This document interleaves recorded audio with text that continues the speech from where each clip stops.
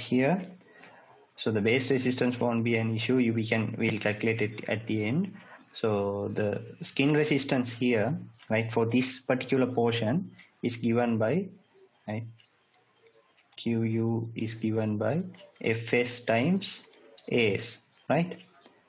So Fs, we know Fs is K times sigma V into tan delta times As, right? So the data is given to us that K is equal to 1, right? So that is K is equal to 1 times sigma V. Now sigma V is an issue here, right? We, we don't have a constant value because when the depth changes, our sigma V changes because sigma V is equal to gamma times H. So when we are starting at the initial point here, gamma is 0 at we are at the end of this layer gamma has a different value sorry sigma v has a different value right? Here the sigma v is uh, gamma is 20 20 times 3 it is 60 so we have to find the average right? So 0 plus 60 by 2 right? And tan so this is a concrete pile right? So concrete pile in the sense it is 3 by 4 times the friction angle that is 30 right? Times the area. So that is pi times the diameter. Pi d will give us the perimeter. The diameter of the pile is 500 millimeters. So 0.5 meter times the length. So this is the area. So we can find the skin friction for this particular portion. So if it is a granular soil, this is the particular way of calculating. So we have to use the particular Fs for that situation, right? The Fs, the correct Fs should be substituted, right? And sigma, uh, kV tan delta should be used. And for sigma v, we have to use the proper ideology right? Because sigma v changes in this manner right? So here when it is starting it's 0 when it is ending it's 60 so it is a varying value. So if it is changing the simple idea to counter the changing thing is taking average. So into the tan 3 by 4 into 30 into this value right? So got it? So Excuse for me. the next yeah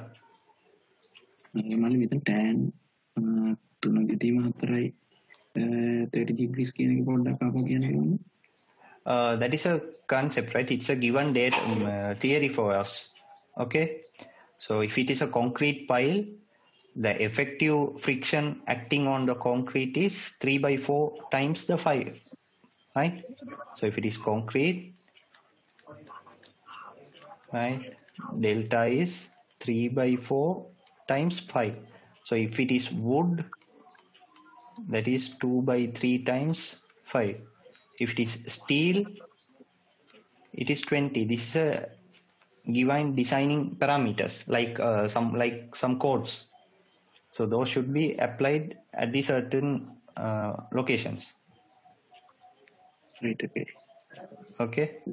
Right uh, when it comes to the second layer, the second layer is uh, 4 meter deep layer, right? This is 4 meters, right?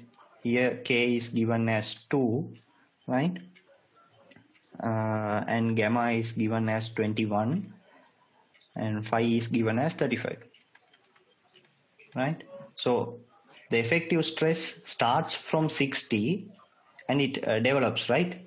So what would be the increment in the effective stress due to this lay only, due to this lay only. So that increment will be that delta sigma will be 21 times 4, right? So that is 84, right?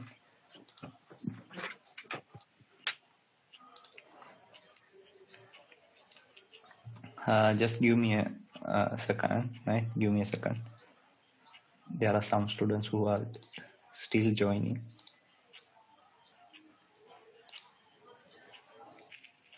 Okay, so it's 21 times uh, 4 and it's 84, right? So what would be the final uh, pressure at this point? Final stress at this at the end of this layer, that would be 144. So when we are finding Q, right? So QU, so Fs, Fs is K times, so that is 2 times sigma V. Sigma V starts from 60 and ends at 144. So we have to take the average. So 60 plus 144 by 2 times again tan. Tan 3 by 4 times 35 here. So because its friction angle is 35 times the perimeter, so surface area. So pi times 0.5 into 4. So that will give the friction for this particular, sorry, skin friction force for this particular uh, depth, right? And the last layer is a clay layer, right? So they have given in this clay layer at 7 meter, right? Cu is given as 120, right? At 8 meter, Cu is given as 145. So we are calculating uh, the cohesiveness for the skin friction force at this clay layer, right? So here QU should be equal to again Fs. So in the in case of clay, Fs is equal to alpha into Cu, right? This is for clay. So we have to use alpha Cu into As. So what is the alpha? Right. So alpha is given as 0.6. So alpha is 0.6. So what happens to Cu? At 7 meter, Cu is 120. At 8 meter, Cu is 145. Again, Cu is also changing.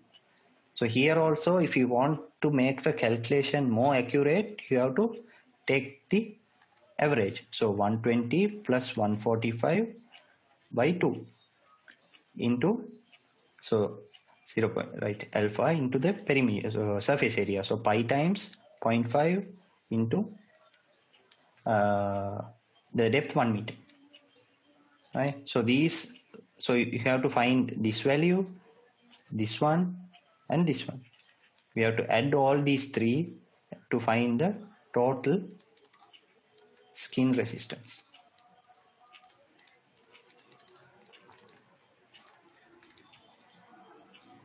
Right?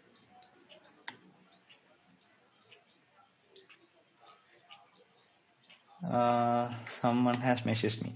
I don't uh, couldn't understand. Please explain again. Uh, what do you mean? Uh, at what portion you are having the confusion? The person who have messaged me.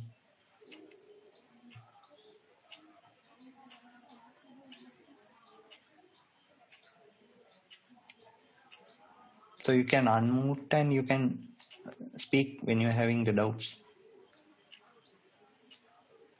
So this is a discussion, right? So if, if you have anything, you can ask out.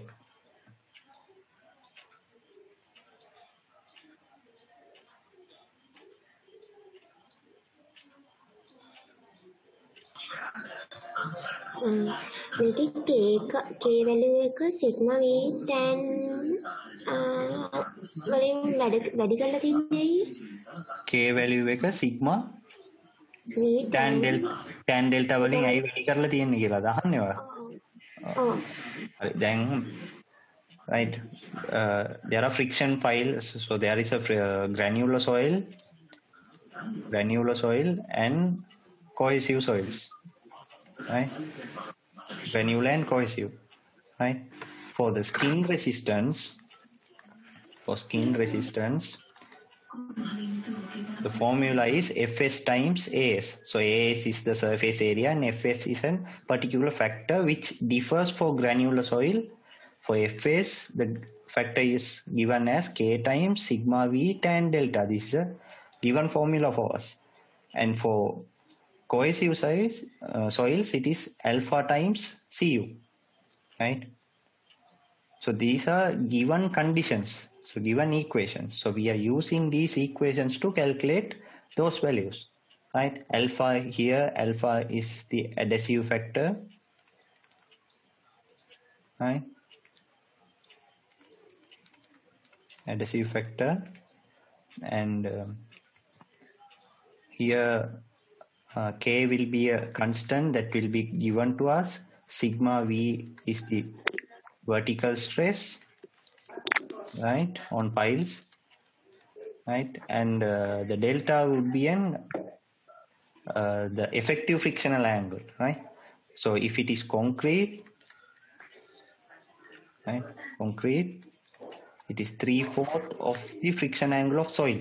So if it is wood, it is two third of the friction angle, and if it is steel, it is directly 20 degrees.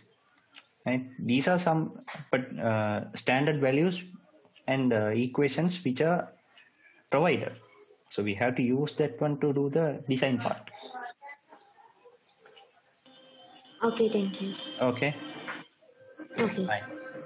So now we have we know how to calculate the skin friction, right? So the total skin resistance is done. And after doing that one, there is still one part remaining, our base resistance, right? Right. So the base resistance or the base capacity, right? So this is given by C times NC into AB, right? So what is the cohesion at the base? We saw at the base, the cohesion at 8 meters, the cohesion is 145. So 145 times 9, that is NC times right, pi by 4, right, the area of the base into 0.5 square, right? So after calculating this, we know the base resistance. So what would be the ultimate bearing capacity? So the ultimate capacity would be sum of the base and sum of the skin friction.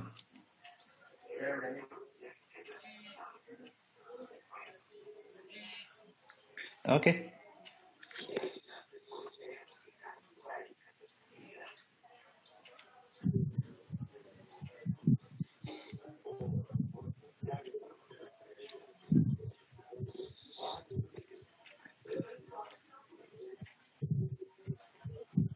Any doubts?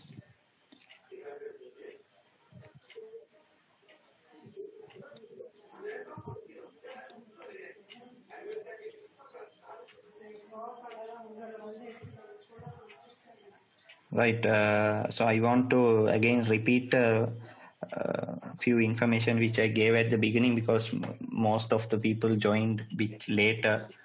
Uh, again, sorry, I'm repeating again the same thing. Uh, so yesterday in our discussion, uh, we did discuss about some footing questions and permeability questions, right? So in the footing question, right? Uh, footing question, I'll come to this permeability one. When you're doing designing the footing, uh, always design it uh, for the serviceability condition, right? So for footing, remember to design at SLS. So the factors are one and one only, right? Uh, if they ask to design in ULS, do the design in ULS, right? So that is the thing which I want to mention in the footing part. So here in permeability, we did some calculation to find the uplift force, right? So it is not compulsory to use Simpson. Simpson, not trapezoidal. It, it is not compulsory, right? You can use whatever the method which is appropriate here. It should be correct. That's all. That is the thing. So there was another method which I figured out, and uh, here you can calculate the pressure head at A, right? So the pressure head at A can be easily calculated. Uh, so we did this uh, earlier also. The pressure head uh, for us was 8, right? 8 meters. And here the pressure head is uh, 3 meters, right? So because the total head here it's 17, here the total head is uh, 10. So the difference in total, the difference is 7. So there are 7 potential drops.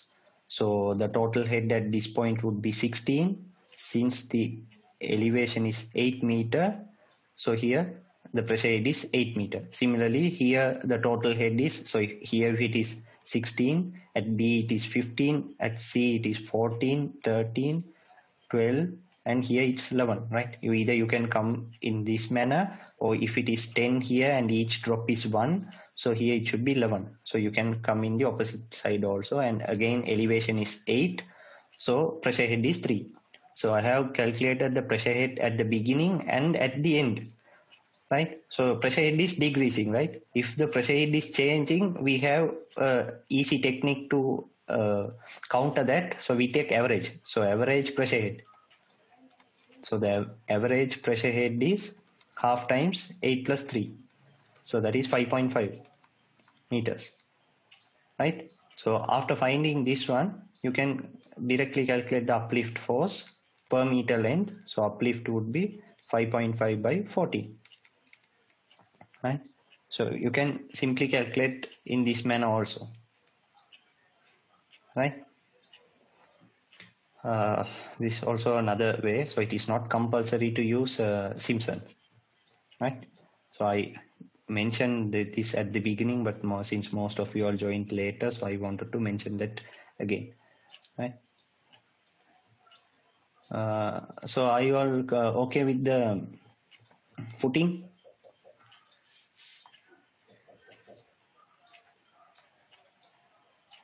any issues here so i'm not doing the solving right solving obviously we can solve it hello excuse me yeah මේ ඕකේ දැන් අර අර n n c value එකට ගත්තේ අපි 9 කියලානේ. oh oh එතකොට දැන් මේ බුක් එකේ තියෙන අර ටේබල් එකේ 5 0 වෙනකොට nc වලට තියෙන value එක 5 වගේනේ.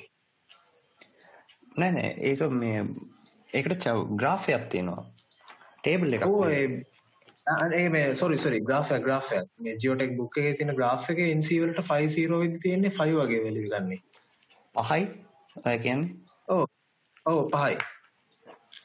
නෑ. 141 පිටුවේ තියෙන geotech book එකේ. පොඩ්ඩක් ඉන්න බලමු මට මතක විදියට නම එන්නේ කිව්වේ. හොඳයි ඉන්නවා. 141 එක එකනේ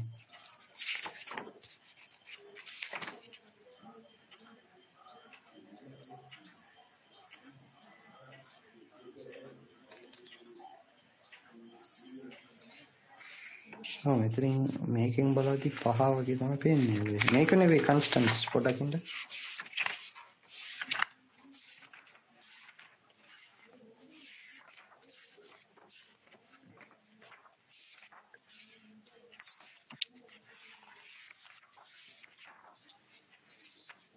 ඔයා බලන්න ඕනේ 170 page number. 170 Iking Balanda, so uh, if you are having uh, the book, it's in page 170, right? So there are there's a big difference for shallow footing and pile, Right, for shallow footing, NC values differs from the NC values of pile. So we are doing a pile, so NC value is somewhat closer to 9. So if it is oh, a that previous tab that previous chart contains only shallow footings no? Shallow footings. Uh, right right. Uh, this is the for- pi- pile tips no? pile tips. Ah right. Okay okay. It. Okay. Okay. Okay thank you. Okay.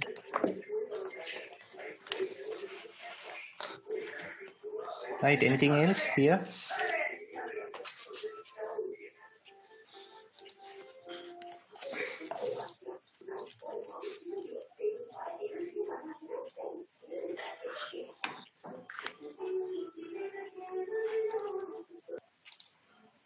right.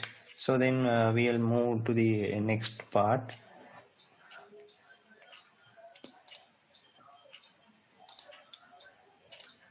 Right. So this retaining wall question. Some of the people wanted me to do this retaining uh, wall question. Uh, shall we do this one and go to slope stability or shall we skip this and do it later? Just give me a quick reply in the chat.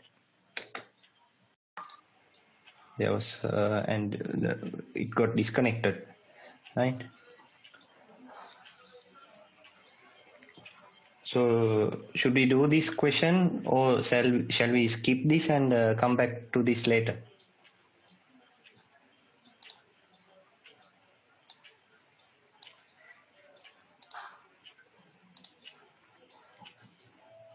Right. Please, uh, yeah, the majority is to do the question, right? So in this part, obviously we have the answer here, right? Uh, so I'm going to explain with the answer, right? Right, with this figure and we'll discuss that one, right?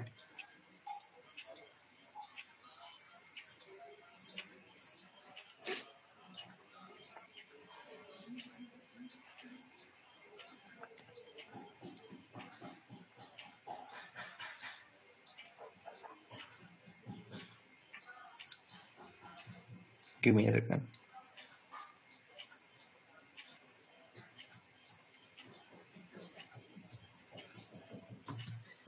Right. So here, right. So we we did a similar question uh, yesterday with the gravity wall. So this is a cantilever one. So here from the surcharge will be there will be a effective active pressure and due to the soil load there will be a, uh, another pressure right? So we have to calculate both the, pressures right? So if we see about the surcharge one right here the active thrust right due to the surcharge right? So we know the surcharge pressure right? Surcharge is given to us as 20 right i'll quickly explain this and we'll move to that right?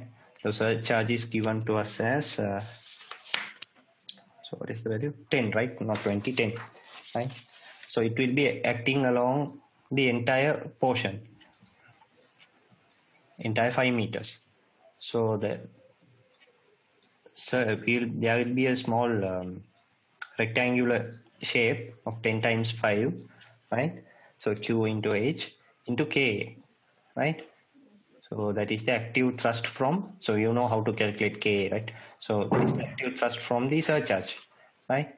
So similarly right there will be another active thrust from the uh, soil wedge right? We know that there will be a variation like this triangular one. So to find the force from this one we have to take the area. So the half times the base so the base will be given by gamma times h right? So gamma times h into height. So into height so, right? Into if you want to make it as the active pressure into k. So they have written this entire equation at once right? Half into k into gamma into h squared right? So that is the thing happening here in this one right so the total active force will be sum of these two. And the vertical reaction right? So if we if we want the vertical reaction right that means the entire weight on the base right? Entire weight on the base will be from three separate portions. So the first weight would be from the stem right? So we'll get a weight from this part so we have to calculate the weight up to here right? And there will be another weight at the bottom from this portion right? So these are from the concrete ones. And there will be another force from this portion the soil part. So this entire weight will be acting at this base right?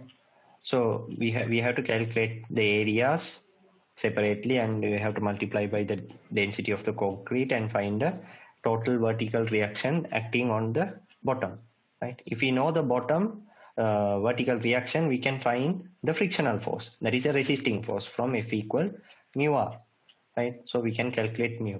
Right? if F is less than the active force right? What happens? Obviously the retaining wall would be sliding. So if the active force is higher and the resistance is lower this is the condition for sliding. So this is for sliding condition, right? If there is, there should be no sliding, F should be greater than active force, right? So that is the concept here, right? So, so this is the easy part, right? So when it comes to the momentum, the overturning thing, right? Uh, we have to be careful, right? So here, if we draw the figure, right, for the active pressures, we'll get two figures, right? One is a rectangular portion, right? Another one is a triangular portion, right? So the active force from the rectangle would be at a different location and the active force from the uh, triangle would be at a different location, right? We have to find this force. We would have already we have found this force separately and already we know the this force separately and we are going to take the moment from A. So if we are going to take the moment from A, we need to find the lever arm. So this level I'll mark this level as let's say AB right? And this is also drawn at the same level AB right? This triangle is drawn for the entire 5 meters. So the height is 5 meters right? So here this is the level of A. For the lever arm here it would be 2 uh, 1 by 1 third of 5 1 by 3 into 5 for this one the lever arm would be 5 by 2 so we can find the overturning moment from this one right? So the overturning moment is done from this figure and we have to find the uh, resisting moment. So the resisting moment we will get a portion for this one. The weight would be acting here. And for this one at this center and again for the soil only for the soil right? It would be acting here right? So we have to find the lever arm separately. For this force it is 1.5 right? For this one for this middle stem part for this one. Uh, it's 0.5 here. This is 0.5 and this middle smaller portion will be 0.2 so the total distance lever arm would be 0.7 right? So we know the width of this soil portion right? What is the width of this soil portion? We know this is 0.5 here it's 0.4 so width of the soil is 2.1 right? So this smaller portion would be 1.05 the entire portion is 3 so if we multiply, I'm sorry, uh, subtract 1.05, we'll get 1.95. The lever arm for this one is 1.95. So we can take the moment from A and find the resisting moment also, right? So here the soil itself, this portion, right? Due to the weight of this soil, right? It is preventing the retaining wall from sliding as well as overturning. So we are using the weight of the soil to increase the stability of this retaining wall, right? So that is the difference between the cantilever and uh, and the gravity wall. So gravity wall there would be a bigger base and this would be a thinner one and it will hold the force, right? Uh, right. So the next following portions are similar to what we did in the yesterday's session also, right? So we know we we found out the overturning moment, right? Give me a second. Right, we found out the overturning moment, and we found uh, so this is our uh, resisting moment this would be our total. This would be our overturning moment. So the difference would be one one person would be resisting right? Other one would be overturning right? So we have to take the resultant from those two right? Due to this resultant there will be a bearing stress developing at the base right? Bearing stress at base. We have to find the location where that force is acting. So this is the total weight. Rv is the total weight on the base, right? So we are doing this calculation and finding the x, right? After finding x, we have to find whether there is an eccentricity. So if we, after finding the eccentricity, so from this formula we can find the maximum, and if we subtract, uh, so for my plus, if we substitute minus, we can find the minimum also, right? So the factor of safety for bearing is um, this is the this is the bearing capacity of the soil, right? So they would have given the bearing capacity for us. Yeah, the bearing capacity of the soil is 250, right? So the soil can bear up to 250, but we are only applying 135. So obviously, the factor of safety is would be higher than one. So for the time being, it is safe. So if let's say we are asked to design for a factor of safety of two, at this case, we can't use this one because the factor of safety is less by 0.5. So we have to again redesign the structure, right? So these calculations are very much similar to gravity wall. And for cantilever, these are same. So the difference comes in uh, the overturning moment and the sliding part where in gravity wall we don't use the weight of soil. Here in cantilever we use the weight of soil. So that are, that is the difference. Okay. Anyone any issues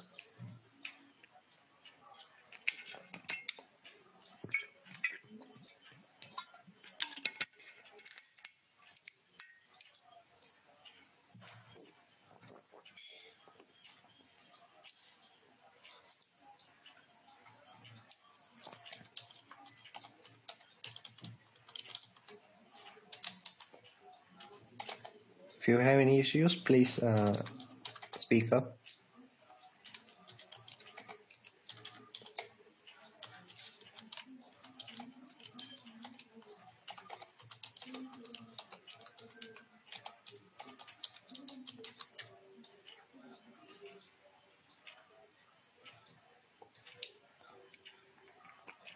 Right. So then we'll uh, move to the slope right so this one we saw right, the slope part right?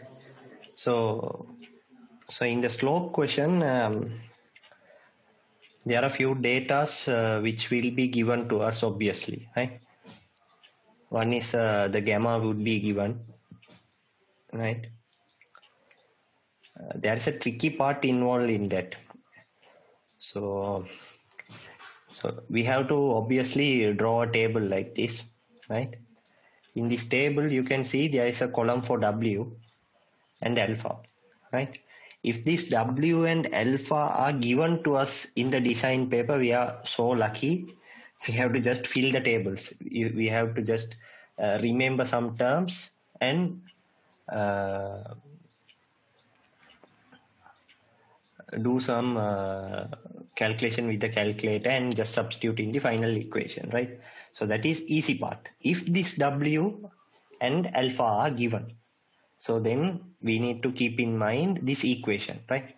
So for the Swedish slice method, we have to keep this equation in the mind and substitute to that equation. That's all, right?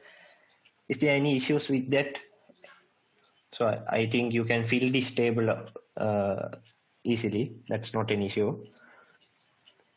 So anyone uh, who need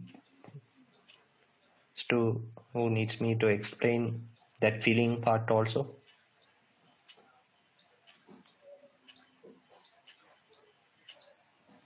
Just explain it. Yeah, right. So let's say um, this is the given figure to you. So they have divided the slices themselves and they have marked, uh, they have given the weights also, right? So when it comes to slices, we know there are few forces which tends to uh, collapse the there will be a slope failure which some people will contribute to the slope failure and some people will be resisting the failure right? So there are two resisting failure re- resisting people right? So one resistance is given from cohesion right? And another resistance is given by friction. The collapsing person is the weight right? We know this blue color curve is the failure curve right? So we have individual weights w1 w2 individual weight for each slice right? If you take the tangential component in this direction the tangential component right? What would be the tangential component? It is w sine alpha right so all these w sine alpha components right these w sine alpha components are responsible for the failure. They are the one who are overturning right? These people are the overturning people. Right? The resisting people are the cohesion and friction right? So the cohesion and friction forces are given by right? So we have to find the normal force that is perpendicular to this line right? So that is w cos alpha right? So we know the normal force. And if we multiply this by the mu that is tan phi. So w cos alpha tan phi.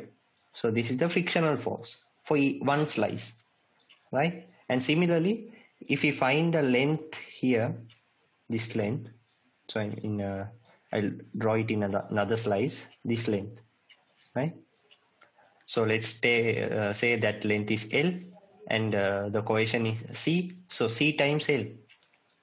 Right so this is the co- cohesive force. So what are the force uh, resisting from sliding? That is the sum of cl so there are seven slices. There will be seven different cl values. So we have to add up all those cn cl values.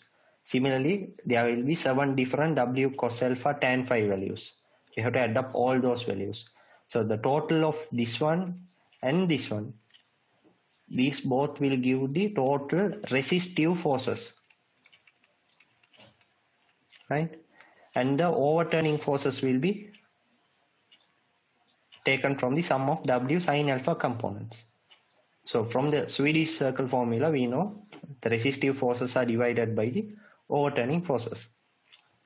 Right so if when we divide it we can find the fs part right? That is easy as that right? Just substituting right? Are there any doubts here? Because if you can substitute and solve this equation drawing this structure and dividing into slices it's completely geometry. So we are going to use compass and we are going to use a protector and graph sheets so you- when you are coming to the exams uh, day after tomorrow please be please remember to bring a compass and a protector right?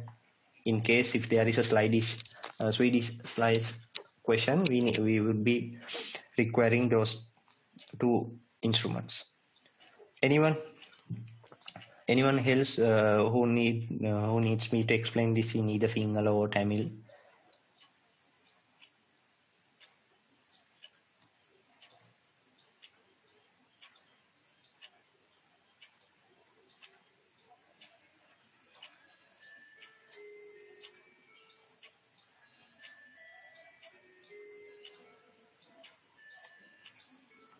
seems like no one right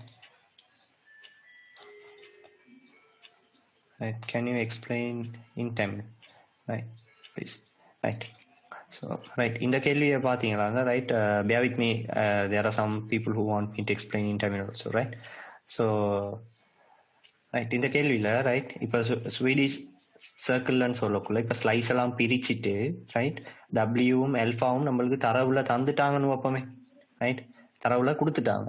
கொடுத்துட்டாங்களா இருந்தா கேள்வி lazy இந்த சமன்பாட்டுல பிரதியிடுறது மட்டும்தான் விஷயம். Right பிரதியிடக்குள்ள நம்மளுக்கு தேவைப்படுற தரவுகள் வந்து alpha தரப்பட்டிருக்கு டபிள்யூஎன் தரப்பட்டிருக்கு. ரைட் இதெல்லாம் தரப்பட்டிருக்கா இருந்தால் சில சுருக்கல்கள் மட்டும்தான். ரைட் ஸோ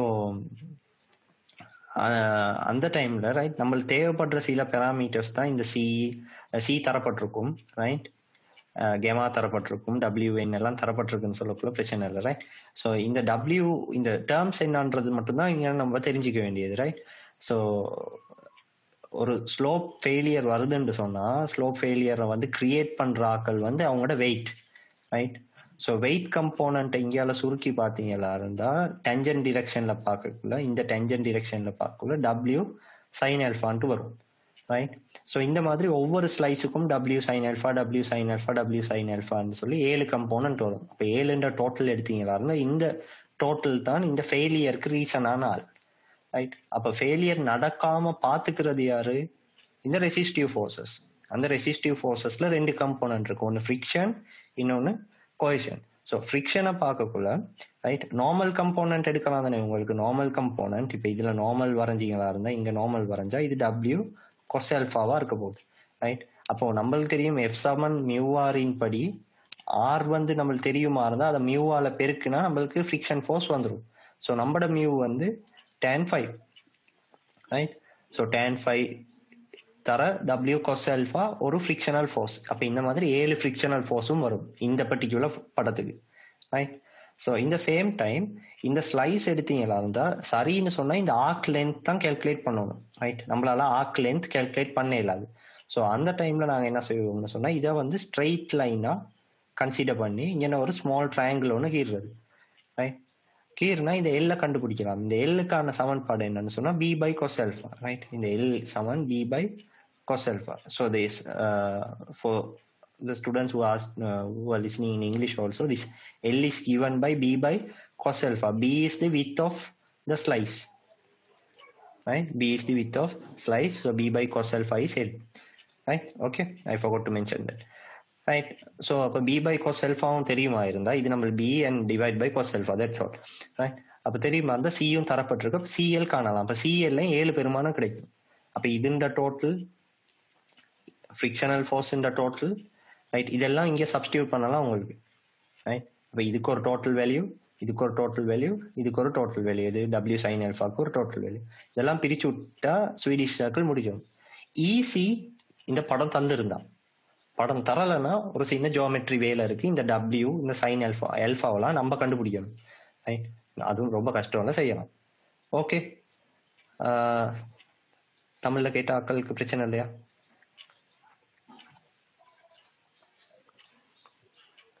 රයිට් uh, සමහර අයට සිංහලෙන් උත් ඉල්ලනවා. රයිට් uh, දැන් මේවනේ. දැන් මෙතනින් මේවා රූප දීලා තියෙනකොට කිසිම ගැටලුවක් නැහැ. Right අපිට සමහර පද ටික මොනවාද කියලා විතරයි දැනගන්න ඕනේ. Right uh, so how to find b? Right so b uh, b will be given to us. They they they would be mentioning the b. Or if it is a scaled diagram we can measure b. Right uh, if it is the data are given at, they will give in uh, if the w is provided and if alphas are provided they will definitely give the b value also right? So it will be given to us in the data. So no worries.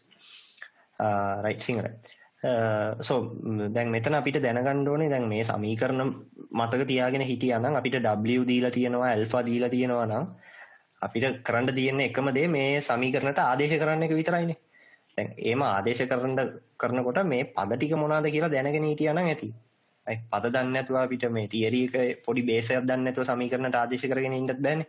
right එතකොට මෙතන මෙයාව මෙයාව collapse collapse වෙන්න right act වෙන forces තමයි මේ ටැන්ජන්ට් direction එකේම act වෙන්න ඕනේ.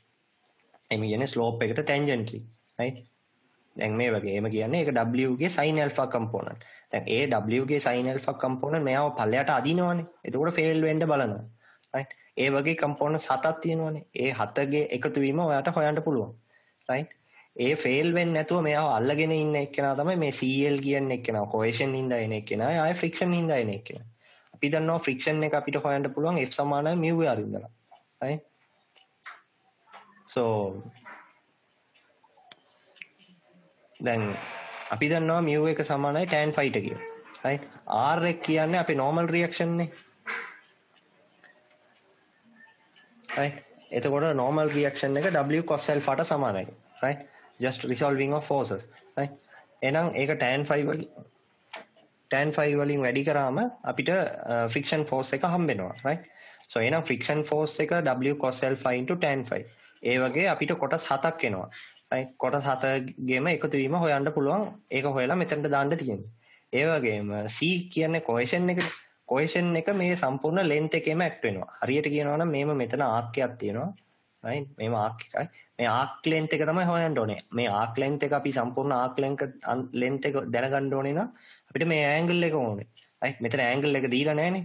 එහෙනම් අපි කොටස් පිටින් කොටස් හොයන්න ඕනේ. ඒකට අපි කරනවා මෙතන පොඩි triangle එකක් ඇඳ ගන්නවා right right? මේ distance එක ගන්නවා. මේක අපේ b. So this is b. මේ angle එක තමයි alpha. So b by cos alpha කියලා එනවා මේ length l එක right? So when you so l එක දන්නවා. එන cl එක වැඩි කරා ඒ වගේ හ- හතක් එනවා. ඔක්කොම එකතු කරා කියන්නේ cl එකත් එනවා. ඊට පස්සේ සුළු කරලා කරන්න විතරයි තියෙන්නේ. Right? So if you want to increase the accuracy of this method you have to increase the number of s- slice. So when the number of slice increases by multiple times the accuracy the factor of safety is accuracy also increases. So that is the concept behind here right? So i think you can substitute in this equation and solve this if w alpha b these three parameters are given right? So that is the easier part. So is everyone okay with that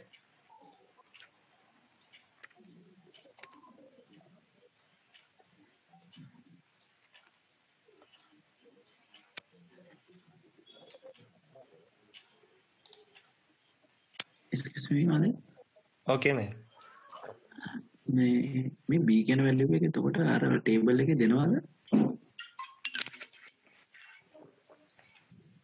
ඔව් දෙනවා දැන් මේ රූපෙන් රූපෙන් උනත් ඔයාලට බැලුවා බැලුවා නම් 2 3 4 5 6 වෙනකන් ස්ලයිසස් ගේ විත් එක සමානයි. 1ටයි 7ටයි විත් එක පොඩ්ඩක් වෙනස්. ඒ දෙක ඔයාලට දෙනවා. අනිවාර්යෙන් chart එකෙන් දෙනවා. මම මේක ක්ලියර් කරන්නම්. එතකොට මට ඊළඟ page එකට යන්න පුළුවන්. Right. So if, if we see in the next page, right? So here the B is not provided. They are this uh, taken from a book. So the, directly the delta L value is given, but in a typical question, the B value should be given to us. So then we have to use and uh, an equation that is B by cos alpha. The concept behind B by cos alpha is, right? I'll just uh, quickly show that one. If we have an arc like this, right? So this is the slice, right? And we are having arc. So here we will be constructing a tangent, right? Small tangent, right? So this, right? And we'll form a right angle triangle, right? So this bottom part would be B, that is the width of this slice. Do you agree with that? Yeah.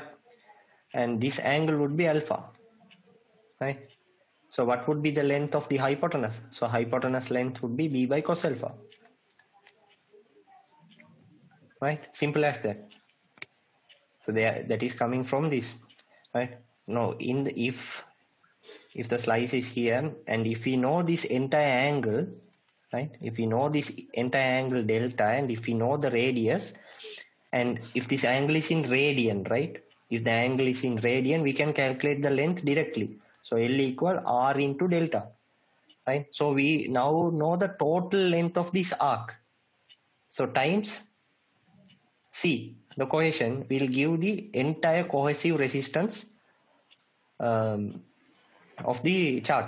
Sorry, uh, acting on this uh, failure slope. Sorry, failure arc. Right. So this is more accurate. So, but in this question, in this table one, the previous figure, there was no any means to measure this delta. So we did it uh, individually.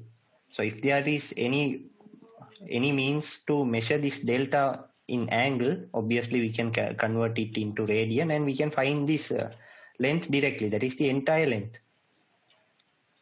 So in that case, we can uh, make this uh, answer more accurate. I clear? Yes, clear.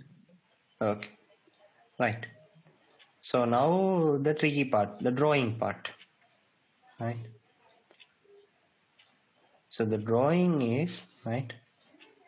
Uh, let's move on to the, sometimes uh, it might disconnect. Uh, if it, it disconnects, don't leave, uh, remain there. Uh, it will reconnect uh, immediately. Right. So in this figure, right. So Similarly, they, they would give us a, uh scale down figure, right? Without a scale, right? Uh, give me a second, I will find out some figure and share it. Right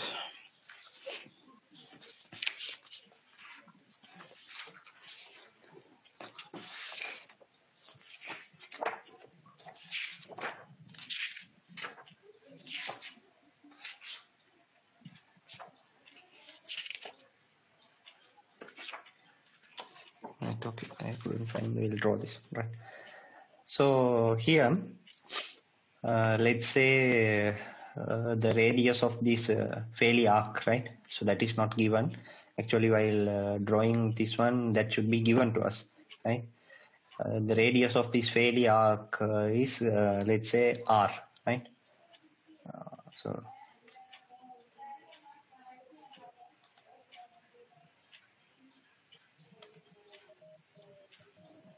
So while doing this question, right, um, in the exam, right, in case uh, if if we got this question,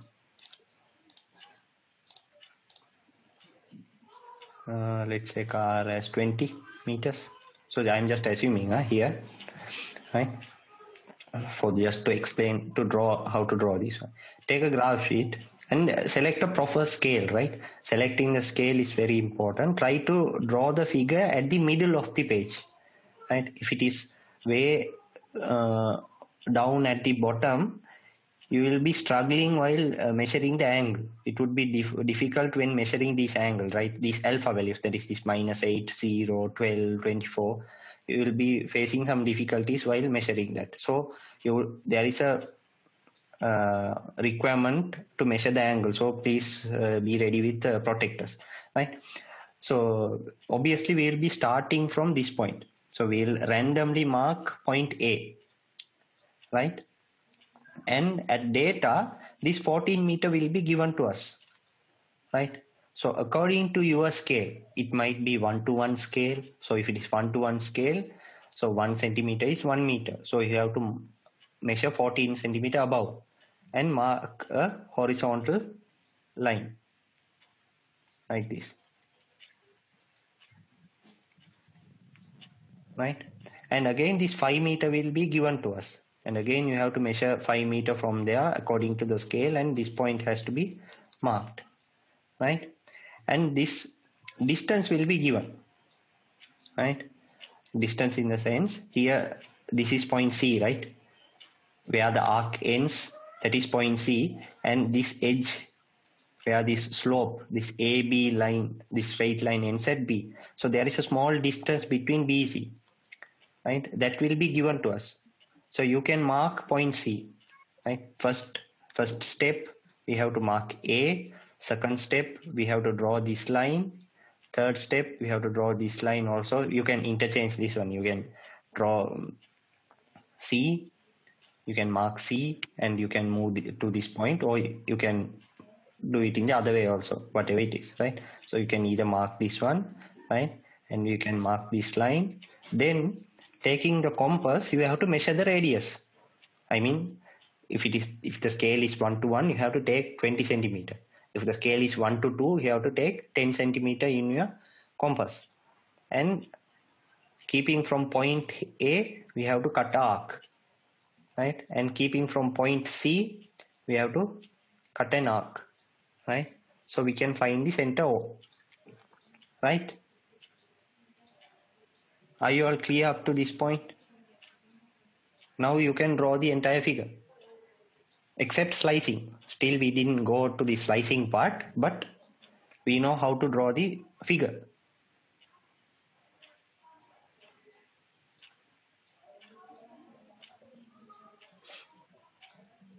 Should I explain that again?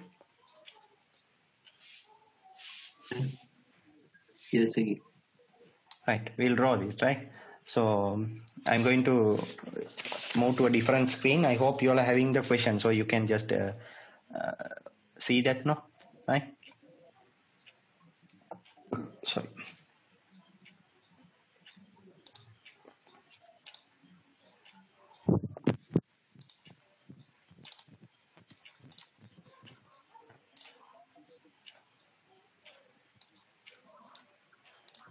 Right here.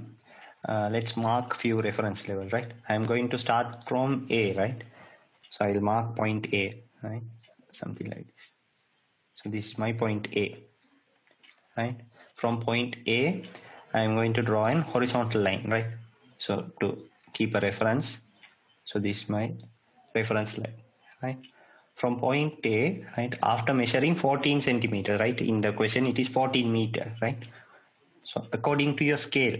So choose the proper scale. So in this case the proper scale is 1 to 2 because we can't draw 14 centimeter 20 centimeter so the figure would be very big right? So 1 to 2 would be a proper scale right?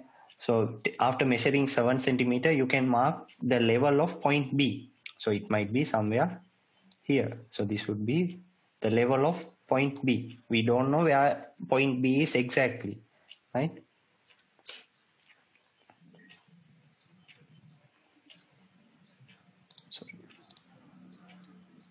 so this this would be.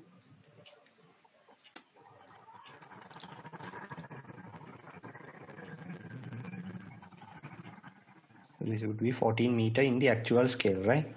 So we know point a and point b right?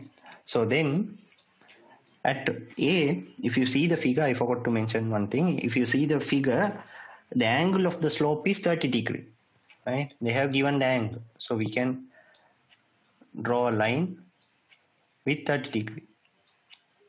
Right? So using the protector we can measure the angle and this angle is 30 degree. Right? So now we can find out the point b. So this is point b.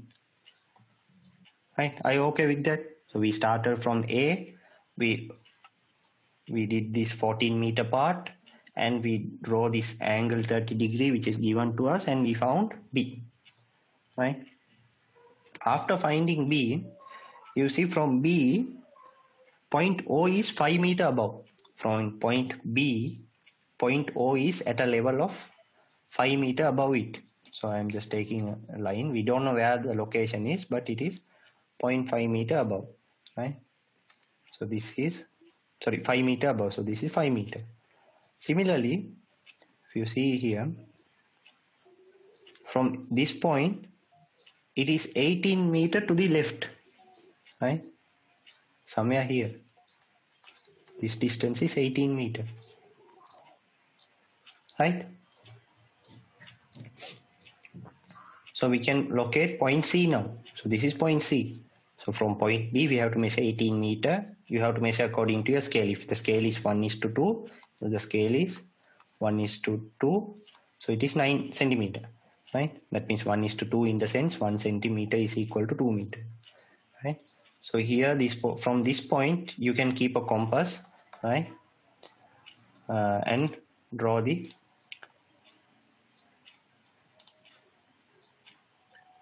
arc and uh,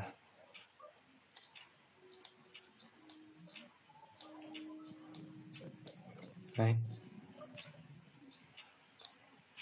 So from point c right we have to keep take an arc right? Up to point a right? Something like this. We have to keep an arc and we have to draw it from here to here right? So th- this arc is not uh, according to the scale that's why it's it's just coming in this manner right so we have to when we are drawing to the correct scale we'll get the correct shape right?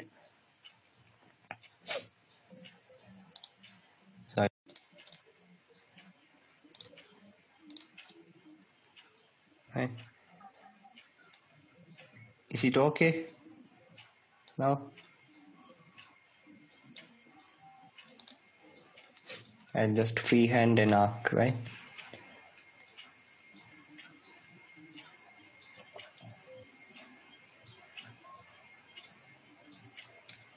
right are you okay everyone. Are there any, some still anyone joining? Right sorry about that uh, this is an issue in the online platform i am using. So i am just figuring out a solution for that.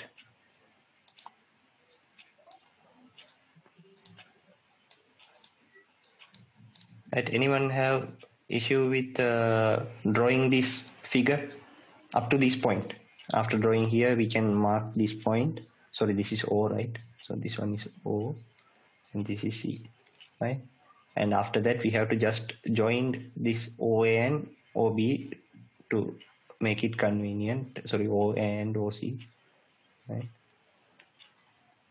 So here after this, right, in the question, they will definitely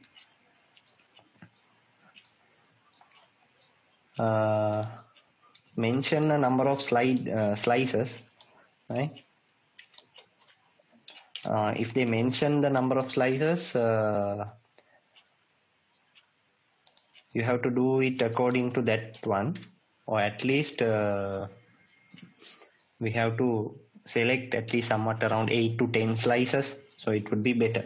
Right? Don't go for uh, very less number of slices. so then the answers would be inaccurate right?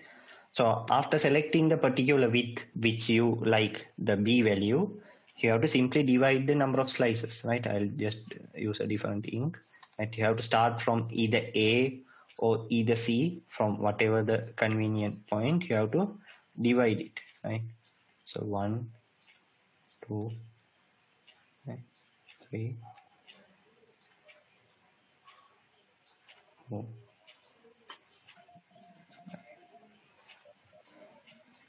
six and seven. Right in in my case right it's around six and seven right? Always this distance this should be equal. So here it is b. Every everything should be b. Sometimes when you are starting from a so you you'll obviously start from b. At the end end thing would be having a different value. So that is not an issue right you have to start and move out to one direction and uh, cut all the slices right? After slicing right are you fine with that one? After slicing up to slicing part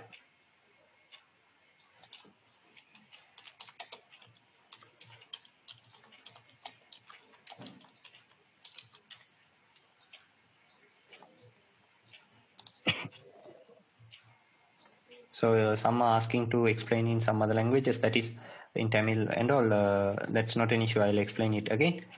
Uh, so are you all clear up to this point?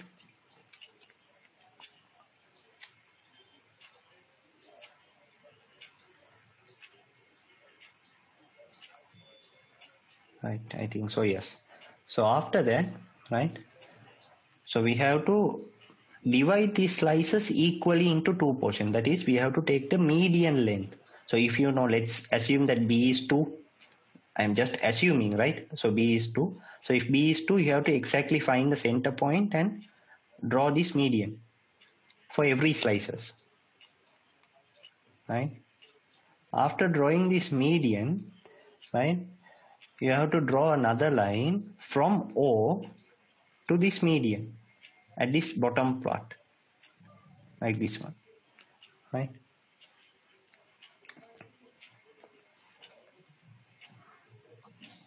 right the angle between this vertical line right this dotted green line and this solid line from O gives the alpha so alpha would be different for each slice. So you, you will be getting seven different. Here we have seven slices, right? So we will be getting seven alpha values. So you have to fill a chart. You have to start from slice.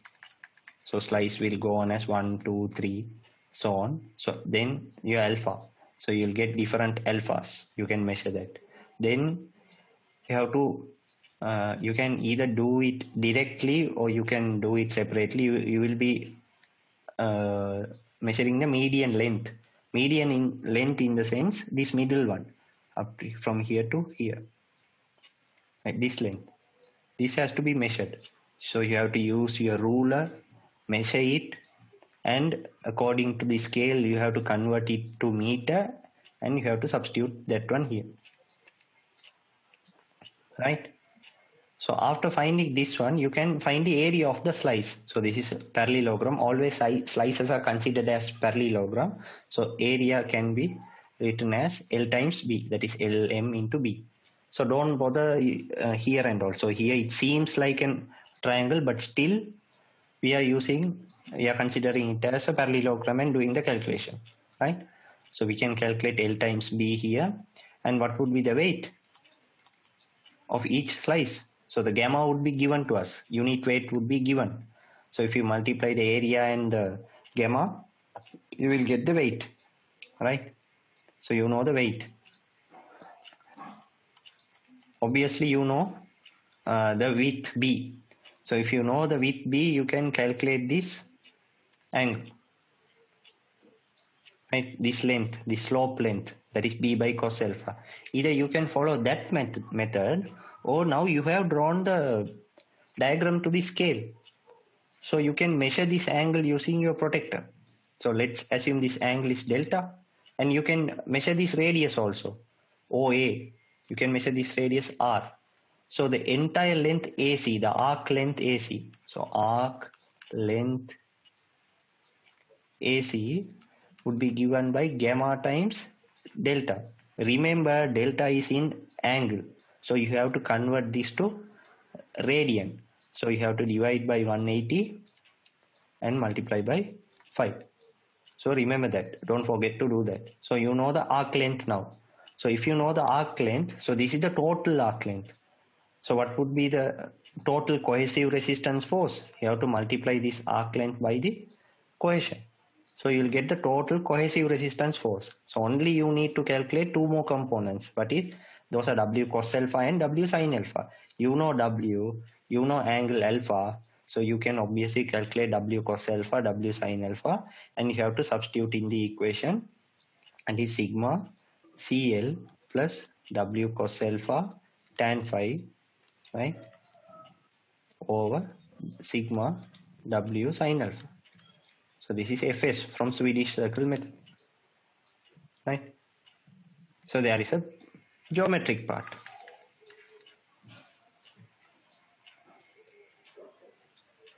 Are you all okay with this? So some of the students wanted me to explain in Tamil. I'll come to Tamil. Uh, anything else which I should mention here?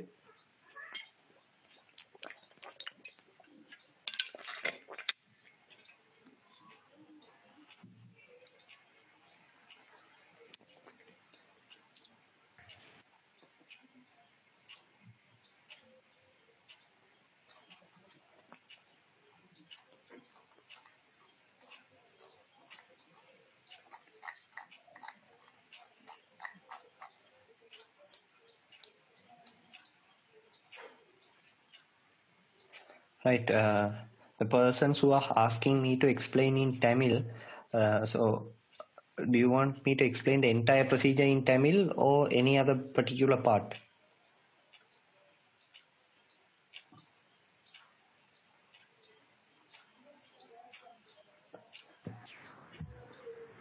geometrical drawing geometrical method only Only the geometrical method. Right. And there's another question. Questions are given to draw like that. Uh, what do you mean by? I can't understand what you're asking. Last last கடைசி கடைசி part இப்ப சொன்னீங்க அந்த ஓ ஆமாய்யா ஓ இப்ப அந்த அந்த wait alpha தந்திரு தராம நாம ட்ரா பண்றது ஆ ரைட் அது ஓகே ஜியோமெட்ரி அது ஓகே நான் சொல்றேன் இன்னொருத்தவங்க கேட்டிருக்காங்க questions are given to draw like that so I have got a மெஷன் message what do you may ask from that I can't understand that මේ වගේ ප්‍රශ්න දෙනවද මේ Oh, දෙන්න පුළුවන්. Oh, දෙන්න පුළුවන් දෙන්න පුළුවන් ප්‍රශ්න so it can right if they want to make the question easier if they give the weight it is easy if they didn't give the weight you have to draw this one it will take about uh, half an hour to complete the entire question right if you do it uh, without any problem it will take half an hour around half an hour right? so the geometric part right So I'll just explain the geometric part quickly again in Tamil, right? So so இப்போ ஏன்ற புள்ளியில இருந்து தான் நம்ம ஆரம்பிக்க போறோம் right ஏன்ற புள்ளி நம்மளா குறிக்கிற புள்ளி ரைட் ஒரு இடத்துல குறிச்சாச்சு. குறிச்சிட்டு அதுக்கான மட்டம் ரைட் ஏன்ற புள்ளிக்கான மட்டத்தை குறிச்சாச்சு ரைட் அப்ப இதுல இருந்து பின்ற புள்ளி பதினான்கு மீட்டர் உயரத்துல இருக்குன்றது தரப்பட்டிருக்கு ரைட் அப்ப பதினாலு மீட்டர் உயரத்துல இருக்குன்னு சொன்னா அதுக்கான மட்டத்தை குறிக்கிறது தானே நம்மளால. அது இப்படி ஒரு மட்டத்துல இருக்கும் அந்த பதினாலு மீட்டர் ரைட் இதை கிராஃப் ஷீட்ல நம்மளால ஒரு ஸ்ட்ரெயிட் லைனா வரைய முடியும். அப்புறம் தரப்பட்டிருக்கு ஏல இருந்து பிக்கான கோணம் வந்து முப்பது பாகைன்னு தரப்பட்டிருக்கு. ஸோ அந்த முப்பது பாகைக்கான லைன் என்ன செய்யலாம்? இப்படி கீறலாம். ஸோ நம்மளுக்கு தெரியும் இது முப்பது பாகை என்று தெரியும். ஸோ ஏ தெரியும் பி தெரியும். பியிலிருந்து பியில இருந்து சரியா அஞ்சு மீட்டர் உயரத்துல ஓவுன்ற புள்ளி இந்த கிடைமட்டம் இருக்குன்றது தரப்பட்டிருக்கு. ஸோ அப்ப கிடைமட்டத்துக்கான லைன் என்ன செய்யலாம்? நம்மளால கீறலாம். ரைட் அப்புறம் பின்ற இந்த இடத்துல இருந்து சி ஓன்ற புள்ளி பதினெட்டு மீட்டர் இடப்பக்கம் இருக்கு. அதாவது இங்க இருந்து ரைட் பதினெட்டு மீட்டர் தூரத்துல ரைட் ஓன்ற புள்ளி இருக்கு. அப்ப இந்த இடத்துல ஓ இருக்கு ரைட் இது ஓ ரைட் இப்போ ஓ தெரியும் ஏ தெரியும் ரைட் படத்தை பார்த்தா ஆக்கு வந்து ஏயில இருந்து தானே ஸ்டார்ட் ஆகுது. அப்ப வட்டாரி ஒன்று எடுத்து ரைட் நான் சும்மா ரஃபா வட்டாரி காட்டுறேன். நீங்க நீ அங்க கிரலாம் தானே சரியா? இப்போ ரைட் நம்ம வட்டாரி ஒன்று எடுத்து என்ன செய்யும் ஓன்ற புள்ளியில வச்சாச்சு ரைட் வச்சுட்டு ஏன்ற புள்ளிக்கு கொண்டு வந்து என்ன செய்ய வரும்? இங்க இருந்து ஒரு ஆக்கொண்டு கீழே வரும். இப்படி ரைட் இதுல நம்ம ஸ்கேல் சரியா இல்லாதனால படம் பிழைக்குது ரைட் அங்க நம்ம ஸ்கேல் சரியா வரைஞ்சா சரியான படம் வரும். ஸோ நான் ஃப்ரீ ஹேண்டில் வரைகிறேன் சும்மா ஸ்லோ பண்ணி வரைகிறேன் ஸோ இங்கேருந்து வரைக்கும் வரப்போகுது. இது நம்மளோட பாயிண்ட் சி ஸோ கேள்விக்கு இலகுபடுத்துறதுக்காக நம்ம இந்த ரெண்டு புள்ளியையும் ஜாயின் பண்ணுவோம். இது ரெண்டையும் இதையும் இதையும் ஜாயின் பண்ணிக்குவோம். ரைட் அப்புறம் பிரிக்க வேண்டிய ஸ்லைஸ் நம்பர் ஆஃப் ஸ்லைஸை பொறுத்து நீங்கள் என்ன செய்வீங்க? ஸ்லைஸஸ் பிரிக்கணும் ரைட் ஒரு ஏழு ஸ்லைஸோ எட்டு ஸ்லைஸ் என்ன சொல்றாங்களோ அதுக்கேற்ற மாதிரி ஸ்லைஸ் பிரிச்சுட்டு ரைட் மிடில் போர்ஷனை மார்க் பண்ணும் மிட் பாயிண்ட்ஸ் தேவைப்படும். Median length and mid points தேவைப்படும் ரைட் மீடியன் பாயிண்ட்ஸ் அளக்கோணும் மீடியன் லென்த்ஸ் அளக்கோணும். மீடியன் பாயிண்ட்டுக்கு ஓவிலிருந்து கோடு வரையணும் ரைட் இங்கே ஓ இந்த அதாவது ஆக்குண்ட சென்டர்ல இருந்து இங்க இதுக்கு லைன் வரையணும் அண்ட் இங்க நிலை குத்துக்கோடு அதாவது இந்த மீடியம் தேவைப்படும். ஸோ இந்த கோணம் அல்ஃபாவில் தரப்படும். ரைட் இது பக்கம் மாறினால் அல்ஃபா வந்து மைனஸ்ல போடணும். Right so here there's another thing right so if the angle is in the opposite direction something like this right so if the angle is in opposite direction in this case the alpha should be written in minus huh? so if it is plus you have to write in plus if it is minus you have to write in minus because when you take the tangential component right here they won't be contributing to at this minus location they won't be contributing to any failure they will be resisting so they will so we have to subtract that on that so at that time the angle should be in minus so keep that in mind right so அப்போ இங்க angle mark பண்ணியாச்சு அப்புறம் இந்த நீளம் அளக்கணும் right இது அளக்கணும். ஏன்னா இது அளந்தா தான் உங்களுக்கு பரப்பளவு காணலாம். ரைட் ஏன்னா அப்ப இந்த நீளம் வந்து நான் சும்மா எடுக்கிறேன்னு ஒரு எம்முண்டு எடுப்போமே மீடியான்னு ஸோ இது ரூலர்ல அளக்கணும். ரூலர்ல அளந்து போட்டு என்ன செய்ய வரும்? பி வந்து வித் வந்து நம்மளுக்கு தரப்பட்ட வித்தனை நாங்களாம் எடுத்து பிரிக்கிறத்தனை பி தெரியும். அப்ப ஏரியா என்னன்னு வரும்? ஏரியா வரும் எம்பி ஸோ அப்போ வெயிட் வரும் எம்பி டைம்ஸ் கேமா ரைட் அப்போ வெயிட் தெரியும் அல்ஃபா அளந்திருப்பீங்க மிச்ச விஷயமெல்லாம் ஓகே ஃபைன் ஆல்ரெடி செய்கிறது right weight uh, how ca- can you ca- explain how, again how calculate the weight value for each portion right so to calculate the weight right i'll explain it again right after slicing you have to consider this middle line right This middle line right? Give me a second. Uh, that means so if the width is b right if the width of the, the slice is b you have to take uh, the middle one that is b by 2 and b by 2 so you have to measure this length this green one. So i'll take as m. And you know the width of the slice. So the area would be m times b and the unit weight of the soil, soil will be given to us. Gamma maybe 18 or 20 or whatever the value it would have been given. So once you know the area right we are considering only unit width. Into the paper or outside the paper we are considering unit width.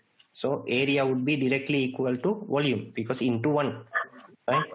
So at the time if you multiply by gamma you will get the weight. So mv into gamma that is the weight right? Once you know the weight and you know the alpha so then it is a simple substitution part right? So that is sigma c into l plus w cos alpha tan phi over sigma w sin alpha.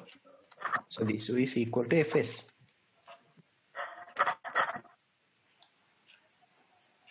Okay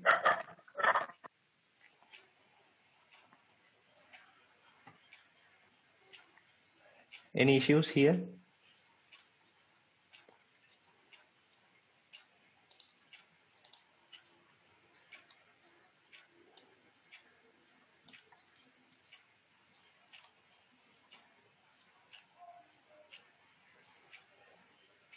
So I I assume you can handle a Swedish uh, slice method question, right? If it comes.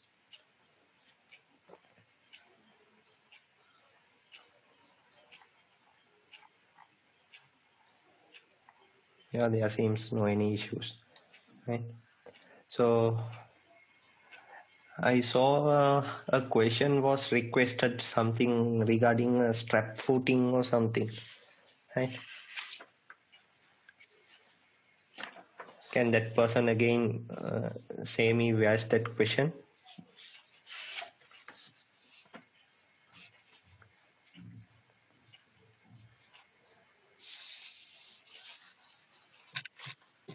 Day school learn 12. PDF. PDF, right? Day school Okay. 11, 12. Page 20. page 20.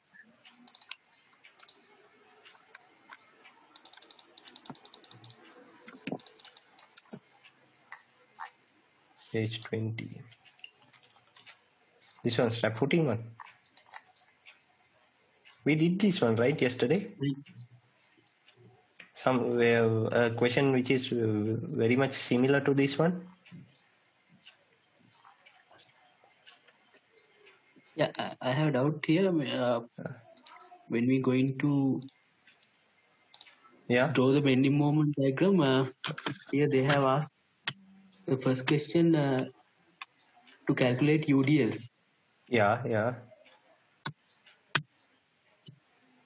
So, which UDL we have to calculate that uh, after calculating RA and RBO, uh, the available one that is 200 and So the, you have to calculate for the 200 and uh, 225. uh, then we are So, getting uh, so you can find RA and RB, right? So when you know the loads, you can find RA and RB, right?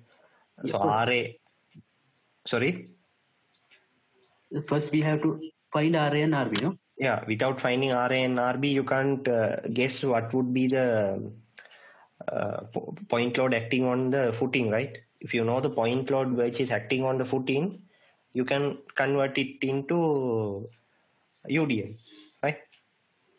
Yeah. So both the widths are same. For both footing A and footing B, the width are same. That is 1200, right? So if you divide by that 1200, then you will get the UDL. So if you if you after finding RA and after finding RB, that's our general mechanics part, and you have to divide by the width, right? So the length is different. So one footing is bit lengthier than the other one. So divide by the equal parameter. So that I'm I mean the parameter which is into the board. right? So if you divide by that parameter, because when we are drawing the bending moment diagram, we will be uh, varying the x from this direction, right? So we need that variable. We have to keep that variable and remove the other variable. The other variable is the person which is into the board, right? Which is into the board. He is going into the paper. So that is the width of this one. That means into the paper there is a width, right? That one. So you have to divide by that values. And you have to take the UDLs for this one, WA and WB.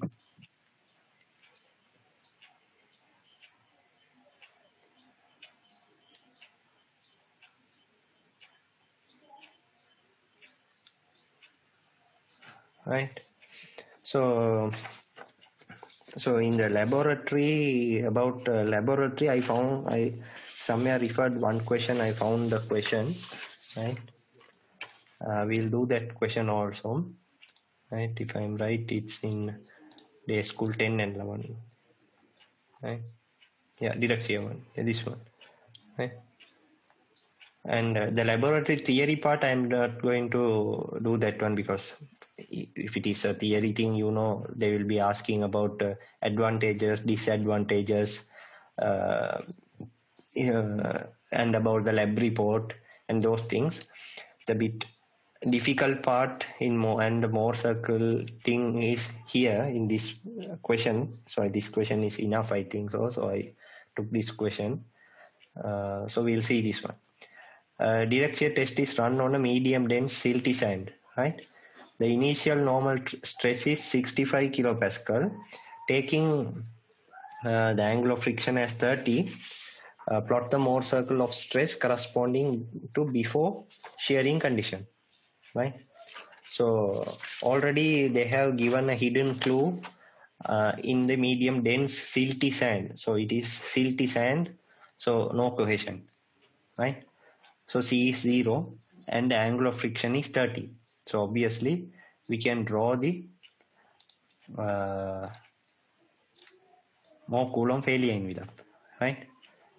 So from the plot, the tau sigma plot, the Mohr circle plot, so this would be one axis and uh, there would be another axis, right? We can draw the failure envelope like this, right? So they have said the initial normal stress is uh, 65 right? So somewhere here the normal stress is 65 right? So if we draw a vertical line above here right? At this point would be our failure point this one. So from the failure point we can draw a perpendicular line right a perpendicular line to the failure plane which meets the x-axis so this should be perpendicular one right? So this is our center right? Taking the center and radius as this distance r. So we know that this is 30 degree right? We can draw the Mohr circle right? I'll, we'll see if we can whether we can draw with this compass.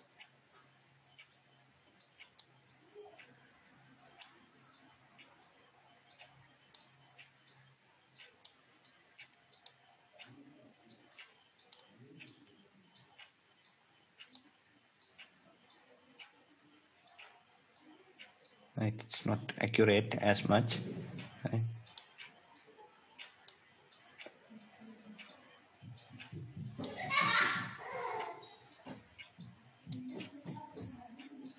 so just uh, think that that is tangent huh? it's not accurate as accurate right?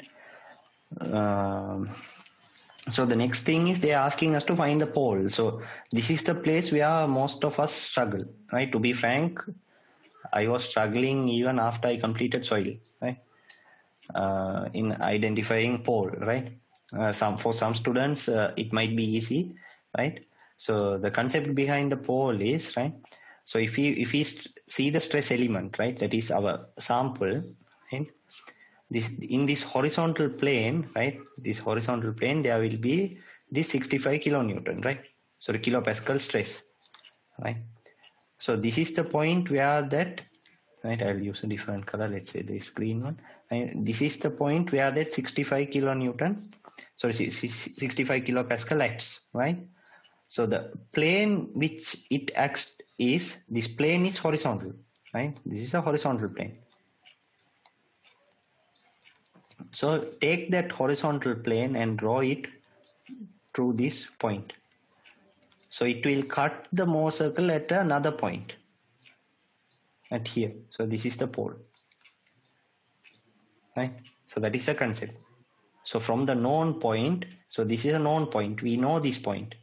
From the known point, we have to draw the surface which which, the force is acting. So if it is a horizontal surface, draw horizontal line. If it is a vertical surface, draw a vertical line. You have to consider about the surface, right? So then you can find the pole, right? And they are asking us to find the uh, principal stresses. You know where the principal stress X. I think you can uh, handle this part, the principal stress. So this is our sigma one, uh, minor, our sigma 1 dash, and this at this end, this will be sigma 3 dash, or this is sigma 1 dash, and mostly this is sigma 3, right? So I'll just extend this line. So we can find these forces, right? We know the radius, right? We know this angle is 60, right? This is 65, right? So if this is 65, right? So this distance is 65, right? This is 65, right? So how to calculate R? So since this is 30 and this is 65, how to calculate this R value? Right? I'll uh, just assume this vertical distance as L, right? This this line, this dotted line, blue line. I'll just assume it as L, right? So this angle is 60, right? So what is L, right? L is uh, 65 tan 30 right? Am I right? Simple geometry right? And at the same time L can be written as R sine 60 right? So we can find R right? So we know the radius R right? After finding R uh, we can calculate this value right? This is R cos, cos 60 so if you uh, if you know this value, so this r cos 60 and we can find the center value, right? So what is the value at the center? So 65 plus r cos 60. And if we subtract the radius, so sigma 3 is equal to 65 plus r cos 60 minus r. So that is sigma 3 and sigma 1 is 65 plus r cos 60 plus r right? Is it clear? And what is the direction? To find the direction, it is much more easier. Now, if, since we know the pole, right? We can we have to draw a line here and uh, draw a line here, right? And we have to measure this angle alpha, right? We can find this angle, right? You can do some simple uh, calculations and find this angle, right? So from this stress element, right, from this stress element, so this was the horizontal line. After rotating an angle of alpha in anticlockwise direction, right, we are coming to the point sigma 3, right? Here there will be a normal stress sigma 3. So perpendicular to that direction, we will be getting sigma 1. Because major principal and minor principal stresses are perpendicular to each other. So this is the stress element for that.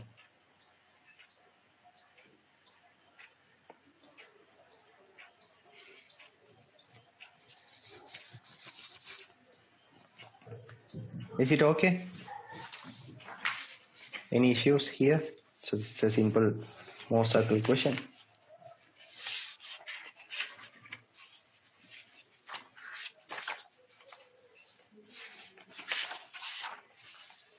I hope there is no any issues here.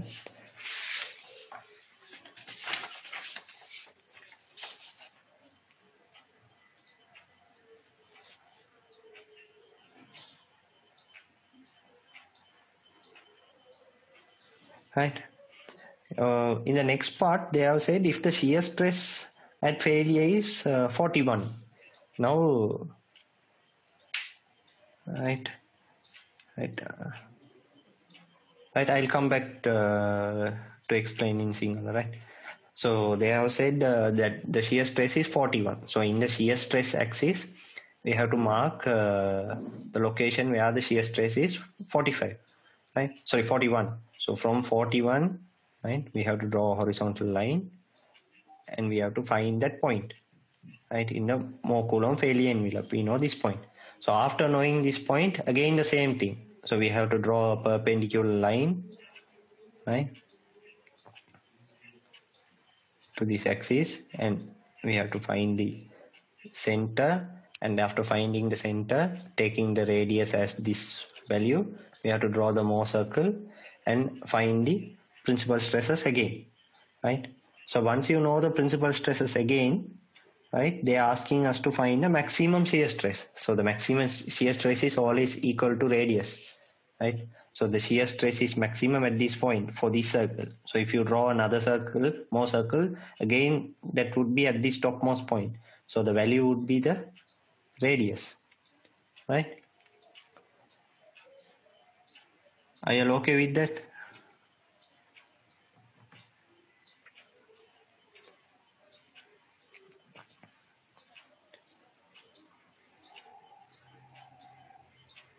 Right?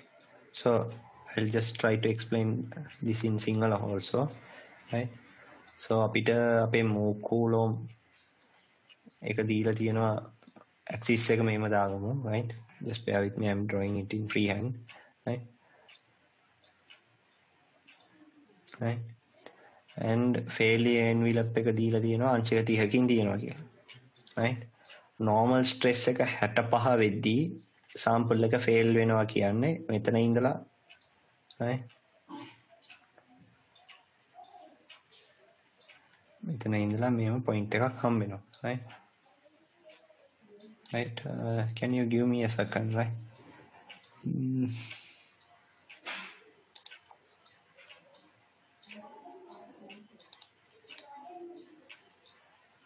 Just uh, give me a minute right? Uh, again there's a issue of disconnecting. I'll just try to solve that one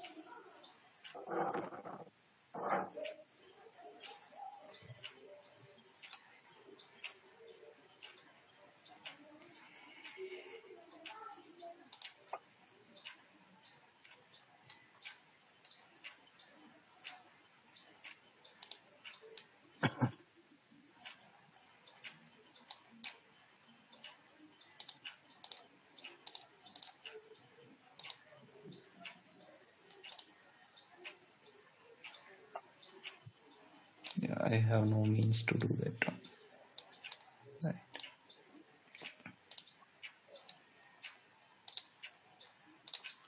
Right. So, so again, it might disconnect in few minutes. So please remain to join, rejoin. Uh, so here, uh, normal stress uh, ඒක දීලා තියෙනවා 65යි කියලා. එතනින් fail වෙනවා කියන්නේ එතන ඉඳලා point එකක් mark කරන්න පුළුවන් නේ අපිට. 65 ඉඳලා failure envelope එකට මේ angle එක දීලා තියෙනවා අංශක 30 කියලා. එහෙනම් අනිවාර්යෙන් මේක Mohr circle එකේ point එකක්නේ. එහෙනම් මේක failure envelope එකට උඩින් එනවා නම් මෙතන ඉඳලා අංශක 90කට අපි ආය අපේ x axis එකට line එකක් ගැහුවා නම් මේක අපේ අරය radius එක. එහෙනම් මේ මේකයි මේ point එක අරයක් විදියට තියාගෙන radius එකක් විදියට තියාගෙන අපිට circle එක complete කරන්න පුළුවන්. මේ විදියට. right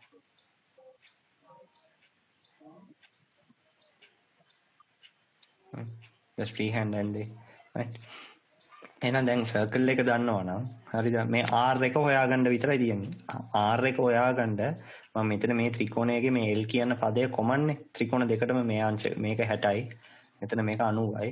එන L එක ලියන්න පුළුවන් මේ පැත්තේ තියෙන මේ වම් අත පැත්තෙන් තියෙන ත්‍රිකෝණේ ඉඳලා 65යි tan 30 කියලා. right? මෝ සර්කල් ඇතුලේ තියෙන චූටි ත්‍රිකෝණේ ඉඳලා ලියන්න පුළුවන් r sin 60යි කියලා. දැන් මේකේ ඉඳලා R හොයාගන්න පුළුවන් නේ. R දන්නවා නම් මේ දුර ලිව එකේ R cos theta කියලා. right? එහෙනම් මෙතනට වෙනකන් 65යි 65ට මේ R cos theta එකතු කරන්න මේ center ගේ අගයන් එනවනේ මේ කියන්නේ 65 R cos theta. right?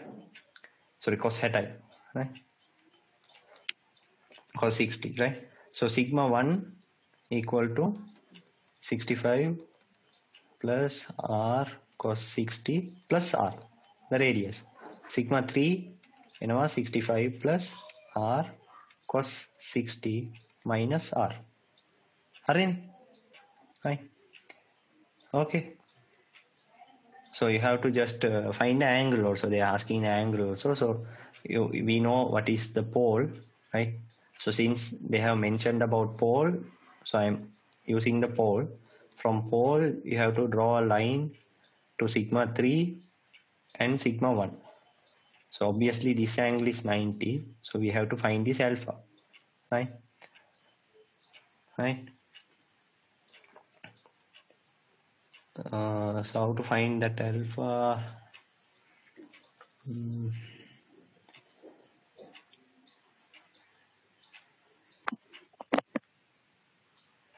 Yeah, Excuse that me? alpha is eh, uh, 30, right? yeah. Okay.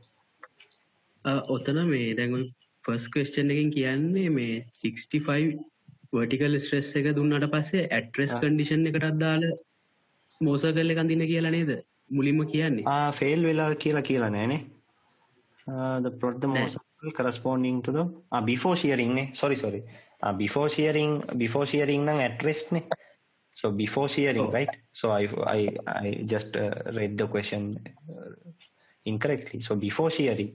So they are mentioning as before shearing. So before shearing means at rest condition.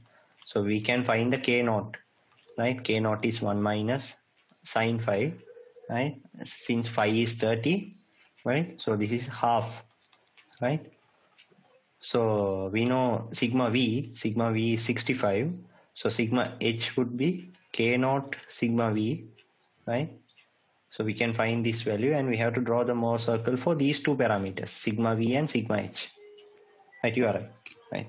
After that, the other things are going on. So if we draw the Mohr circle for sigma V and sigma H, right?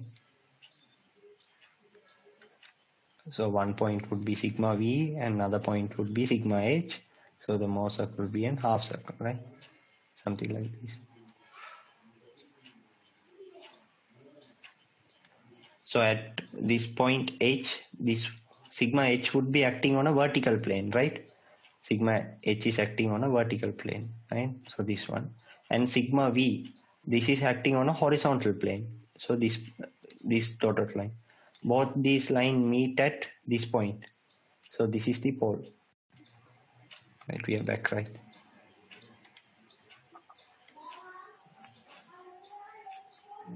Everyone available? No, still someone joining.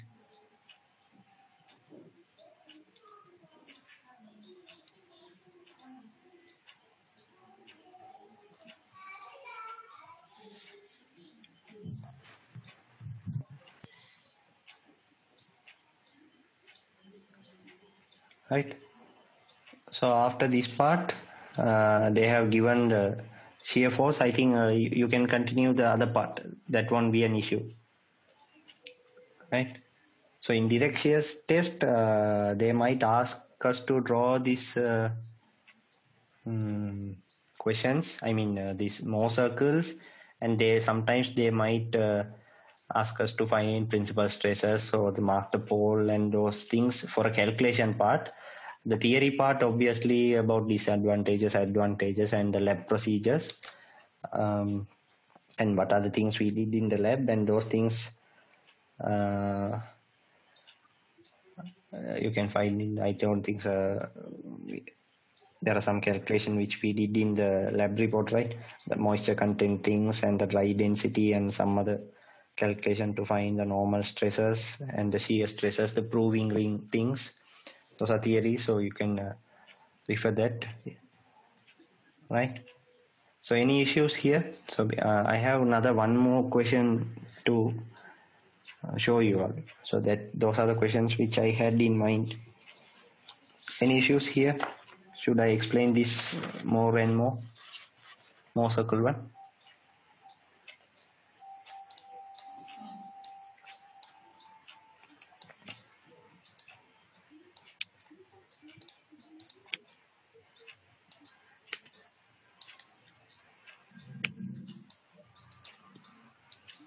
What is pole, right? Uh, so pole, pole is an unique point to every Mohr circle, right? So now let's say, now in this case, right? In our question, right? I'll try to um, draw this uh, as properly as, right? This, uh, that's a nice question, right? So, um, so we're having this axis so these are our axes right? Mm, so we had one value uh, so if we see the stress element right? If we see the stress element at normal condition right? So we are be having a sigma v here and we'll be having a sigma h here right? In the horizontal direction. So we can mark those sigma h and sigma v right uh, and we can uh, right? Draw the Mohr circle right? So I, I'm just drawing in freehand right? So we have a Mohr circle like this right? So we have to mark the pole right? So here at the horizontal forces this horizontal force is acting on a vertical plane. So this is that plane right this vertical force is acting on a horizontal plane. So this is that point. So this is our pole. Right? Right? So when you take this um, soil element, right, and you can uh, place that soil element in such a way, right? So if you want to find the principal stresses or any other stresses, any other uh, different location, right? Let's say they're asking the major principal stress as the direct stresses and the shear stresses at this point, right? So we can directly find that uh, angle, right? So if we extend this one from the pole, our soil element would be in this manner. Right?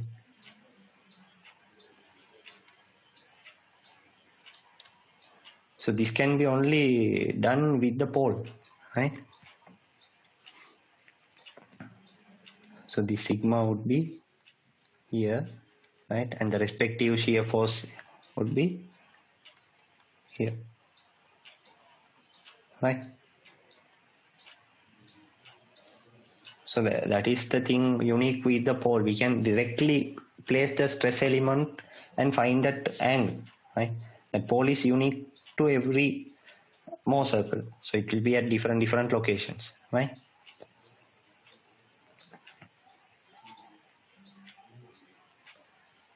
So here, right? So some asking me to do that uh, calculation part also, right? We'll just quickly go through that one and move on to the next one, right? Uh, I'll draw the axis.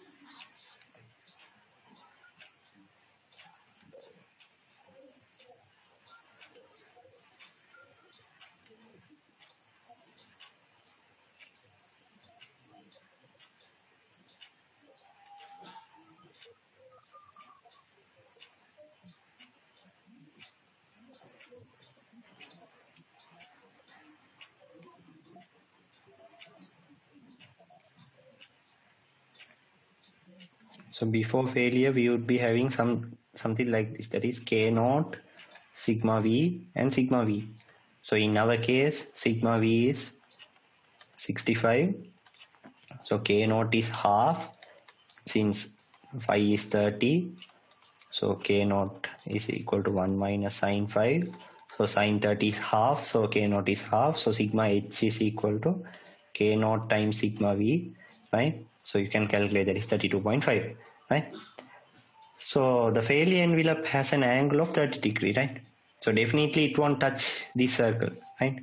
So if it touches the circle, then the sample is uh, failing, right? So I'll just draw like this, right? It's not touching something like this above, right? This is our failure envelope, right? So the angle is 30 degree. Right? At a shear stress of 41, at a, at a shear stress of 41, right? The sample is failing, right? So we can directly ma mark a straight line down here and we can find the normal stress at the failure, right? And we can draw a perpendicular line to the failure envelope, a perpendicular line to the failure envelope, right? In this manner, right? This is a perpendicular line. So this would be the center of the new Mohr circle. So again, you can take a compass, right?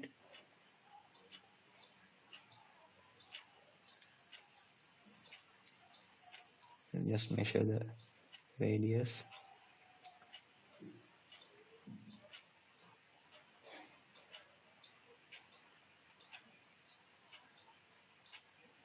Right, somewhat it's touching, right? It will be a big circle like this. Right? So here we can calculate this R, right? So as I mentioned earlier, right? So this would be our radius R. So that R, I'll take this dot dot line's length as L, right? So R sine 60, so this is 60, right? R sine 60 is equal to L. And, and again, uh, we don't know that this value, right? Oh, that is 41, right? No. Uh,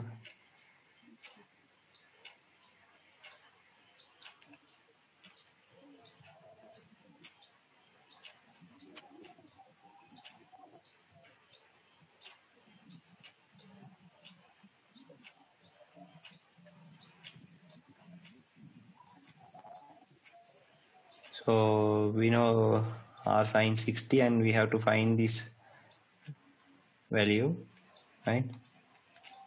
So we know that one that is directly 41 right? Sorry. So we can find the r value. Once you know the value of r um, you can calculate the coordinate of the center right? Right uh, how can you calculate the coordinate of the center right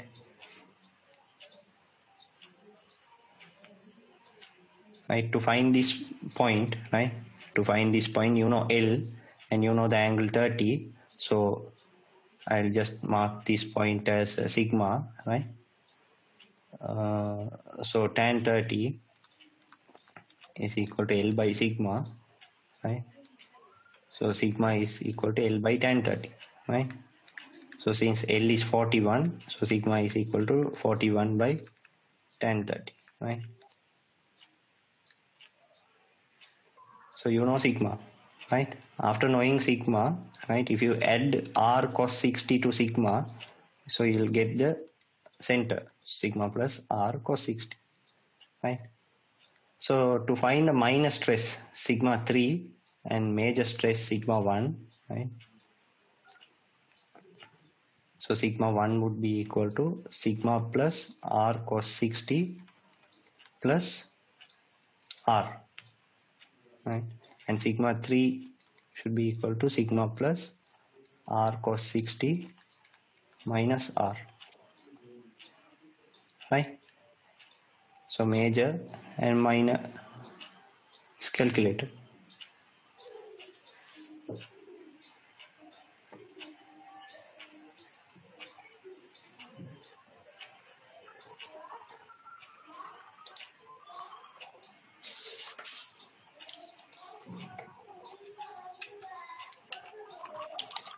Are you okay that one? The person asked that calculation?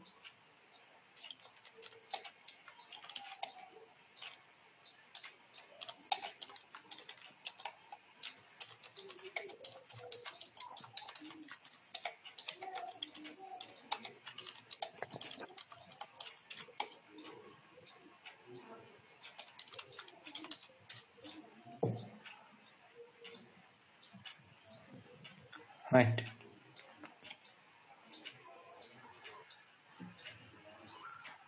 So you can find the major principal stress, minor principal stress and the direction. To find the direction, you have to mark the pole. Either you can use that pole idea itself. So this is the pole and you have to draw a line from the pole to bo both the stresses for both sigma 1 right and sigma sigma 3 and sigma 1 right and we need to calculate this angle alpha right so this alpha means again uh, so you, we can use some theorems right? The angle so i'm just constructing a line here right? See, this green line dot line right? So there's an angle right? I don't know in Sinhala right? Uh, the angle subtended at the center will be twice the angle subtended at the arc from a same chord, right? So this is a chord for this uh, circle. I'm just naming this point as A and B, right?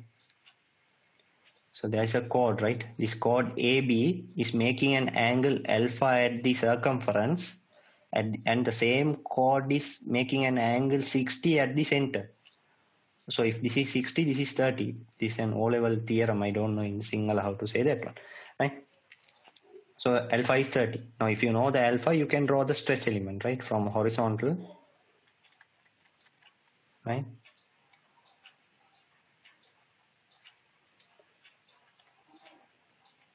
So this angle is alpha. So here it would be sigma 3, right? And here sigma 1.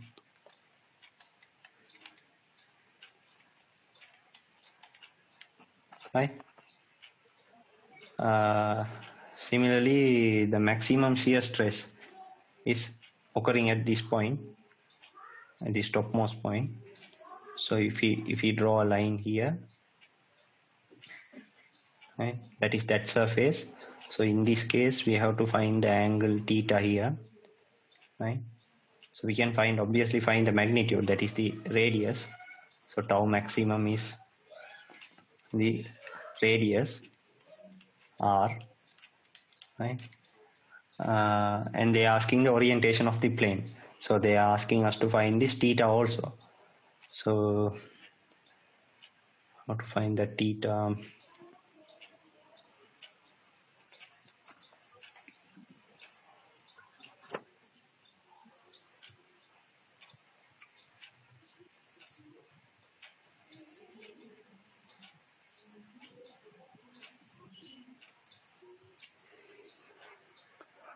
there's an issue right? When it comes to this thing right? So usually in my case i use the strength of material idea right? That is my way. Usually i do that uh, calculation. Strength of material way right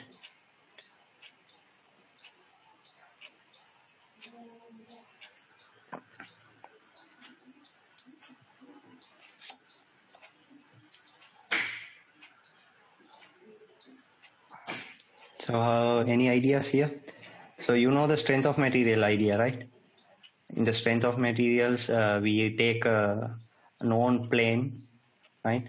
So in this case, we know the direction of sigma 3 and sigma 1 and all, and it is 90 degrees to that one, right? So if it is in 90 degrees, we have to rotate it by 45 degrees in the stress element, right? You know that idea, right? You all know that one in this case this alpha is 30 this alpha is 30 no right so th this is 30 right so from this 30 right from this horizontal line if you want to move to uh, this line right So we are now at sigma 3's line, right? I'm marking in green color, right? We are at this line. So from here, if you want to move to this maximum stress line, we have to rotate by 90 degree, right? Right? Uh, in the stress element, that means we have to rotate by half the amount. In Mohr circle, if it is 90 degree, in the stress element case, we have to rotate by 45 degree, right? Half the case. So now from the horizontal, this stress element, this particular stress element is alpha degrees in the down direction, that is in the anti-clockwise direction. Here we have to rotate by clockwise direction, right?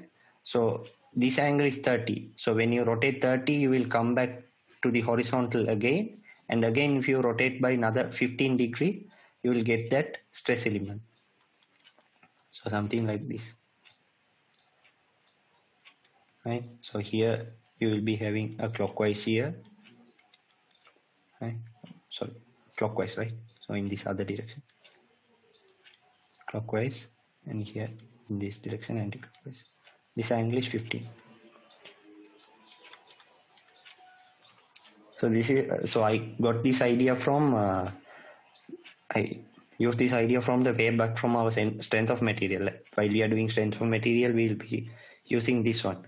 You are going from stress element to Mohr circle, we will be taking two times the angle. And uh, when we are again coming from Mohr circle to the stress element, we will be taking half the angle, right?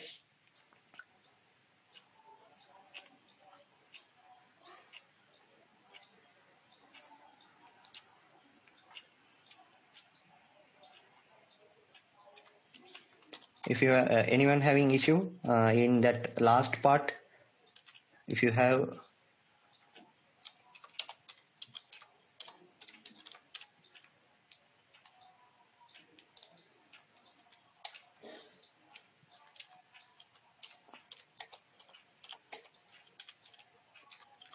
if you have issues uh, please ask right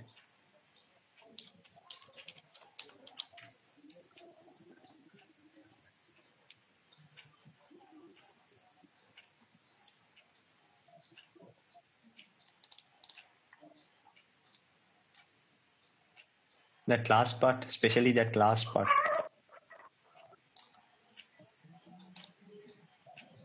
I think some might uh, some of my some of us my uh, you all might be confused about that last part.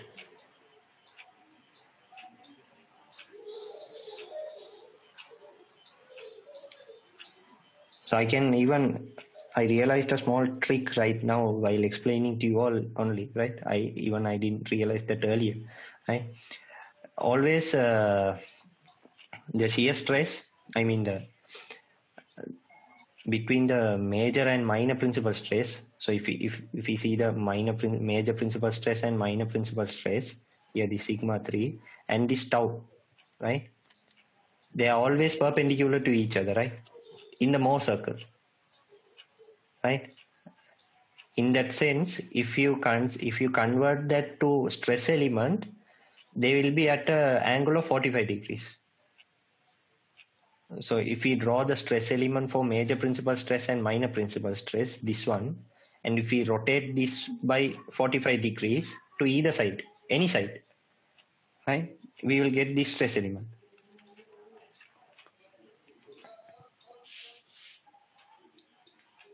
Can you all get that idea?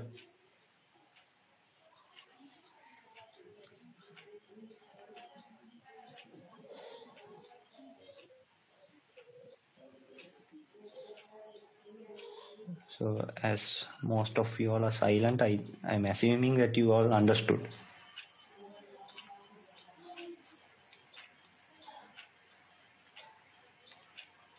So if you have any confusions, you speak up, right? uh, I I have another one more question in my selected questions. I have another one more.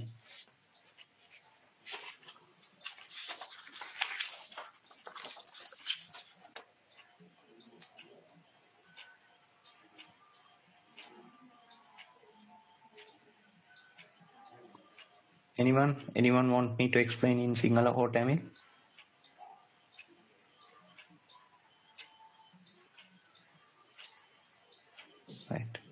Move on. So I'll move on to the next question, right?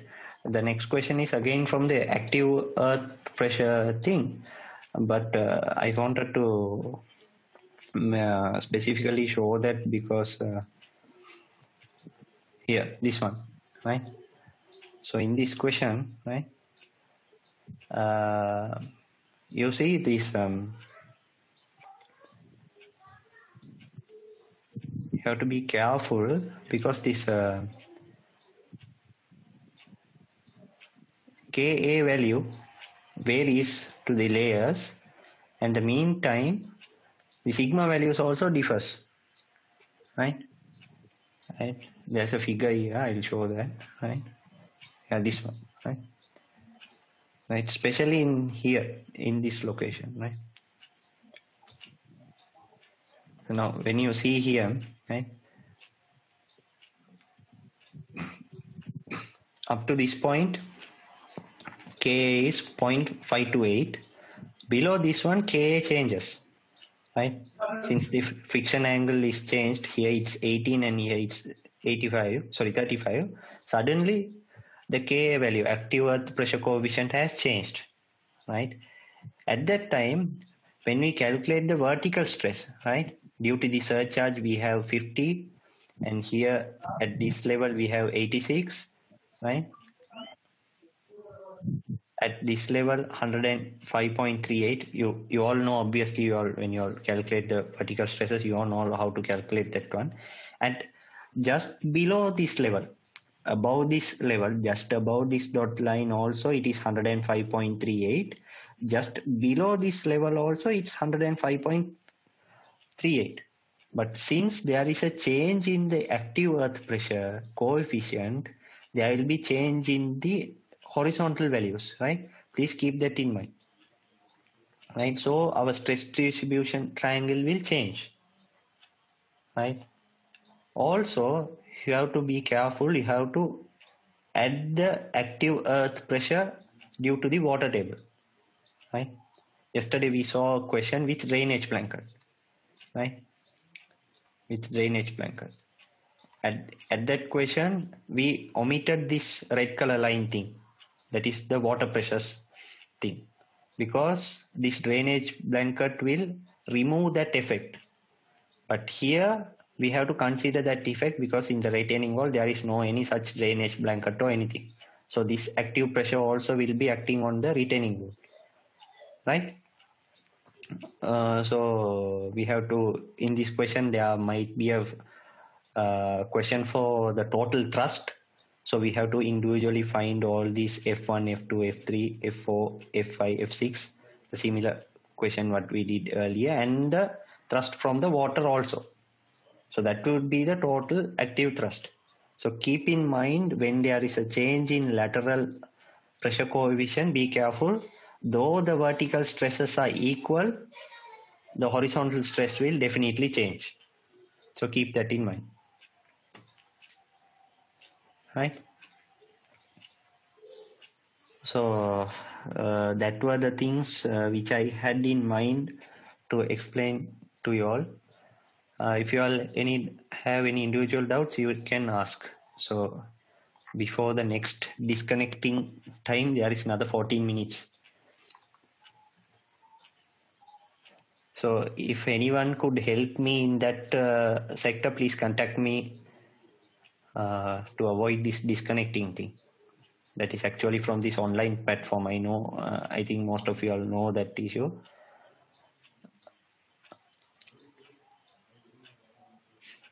Anyone who is having any other doubts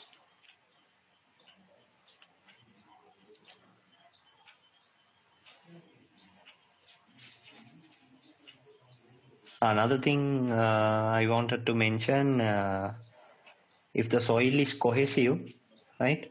If the soil are cohesive, uh, don't forget either it is active earth pressure or passive earth pressure, whatever it is, when we are using a constant and we are multiplying kV plus or minus 2 times C into root of K, right? So if it is active, there will be minus. If it is passive, there will be plus.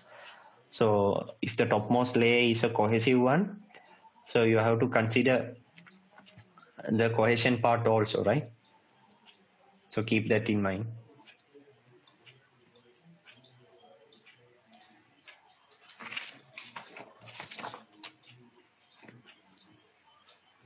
if there is no any surcharge in this case since there is a surge, surcharge uh, we are getting a positive active pressure if there is no surcharge the active pressure will be from the negative side because it is minus 2c root of k. So we, we have to draw the diagram from the negative side. So keep those things in mind. Uh, sometimes there might be some tricky questions also. We don't know what will happen, but there might there might be a chance, isn't it? ප්‍රශ්නයක් තියෙනවද අර්කුණ එදාච් ප්‍රශ්න එකක් doubt இருக்குன்னா கேளுங்க that's அதுதான் எந்த limit நான் அது அதுதான் நான் ப்ரிப்பேர் பண்ணி வச்சிருந்தது ஸோ මගේ ප්‍රිපේරේෂන් එක එච්චනයි වෙන මොන හරි ප්‍රශ්නයක් Tamanගේ ඉන්ඩිවිජුවල් ප්‍රශ්න තියෙනවා නම් අහන්න මම තව විනාඩි 12ක් වගේ තියෙනවා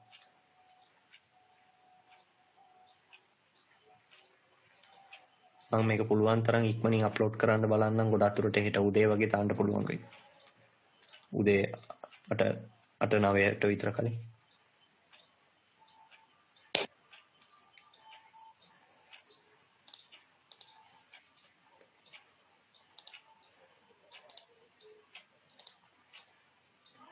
Anyone having doubts can ask and others are free to leave. You can leave. I'll wait here for a few minutes and if you have any doubts, you can ask.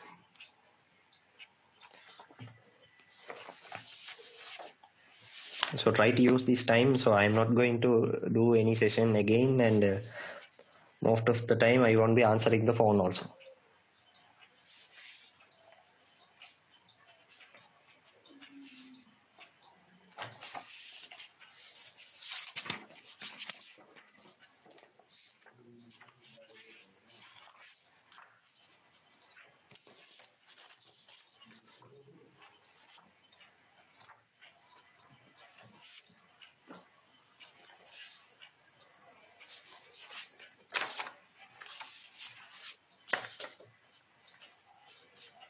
any theoretical questions or any other questions regarding the laboratory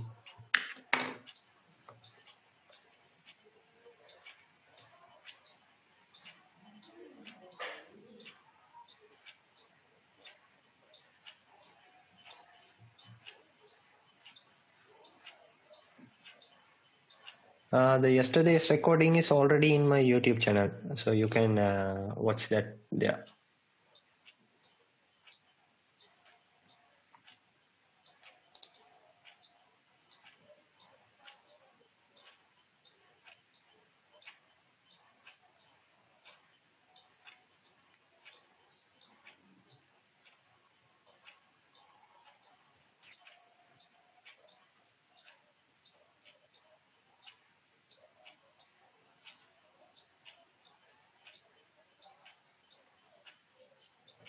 uh, Mohr circle last part in Sinhala, right?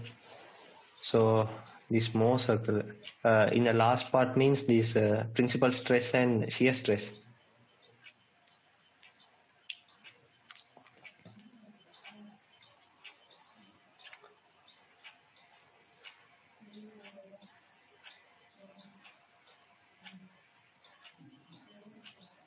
ඒක දාහන්නේ අර principal stress එකයි shear stress එකයි හරි එතකොට දැන් මෙතනින් more circle එක ආය අඳින්න ඕනද? මේකෙන්ම කියලා දෙන්නද? ප්‍රශ්නයක් නැද්ද?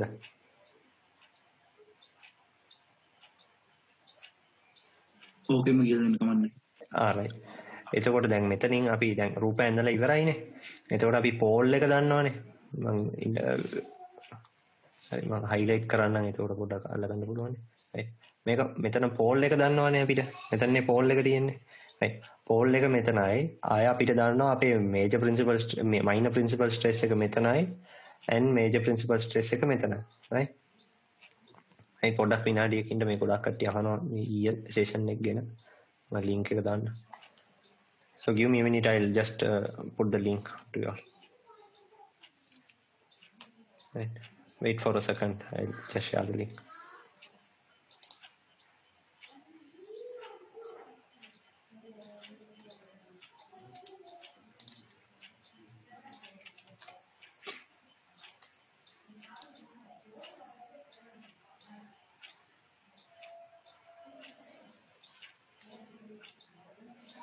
පොඩ්ඩක්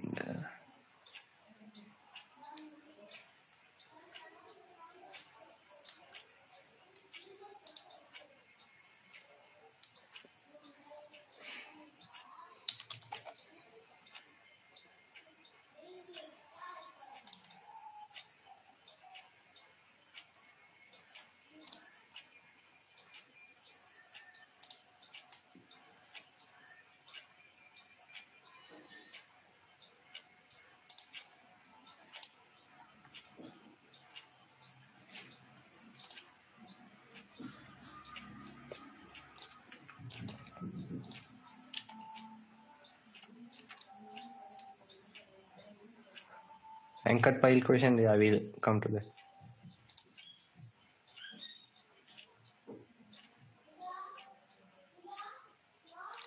Right. So here we know what is sigma 1 sigma 1 එක දන්නවා sigma 3 එක දන්නවනේ. Right. එතකොට දැන් අපි පෝල් ඉඳලා ඒ අදාළ තැනට ගහනවනේ ලයින් එක. sigma 1 එකට ලයින් එකක් ගහනවා sigma 3 එකට ලයින් එකක් ගහනවනේ. ඒක තමයි යාගේ ස්ට්‍රෙස් එලිමන්ට් එක. හරිද? දැන් අපි මෙතනින් ලයින් එකක් ඇඳ කියන්නේ මෙතන කො- මේක කොටුවක් විදිහට මාරු කරා නම් right නිකන් කහ පාටෙන් ඇඳොත් පේනවද දන්නේ? හරි. පේනවනේ. යන්තම් පේනවා.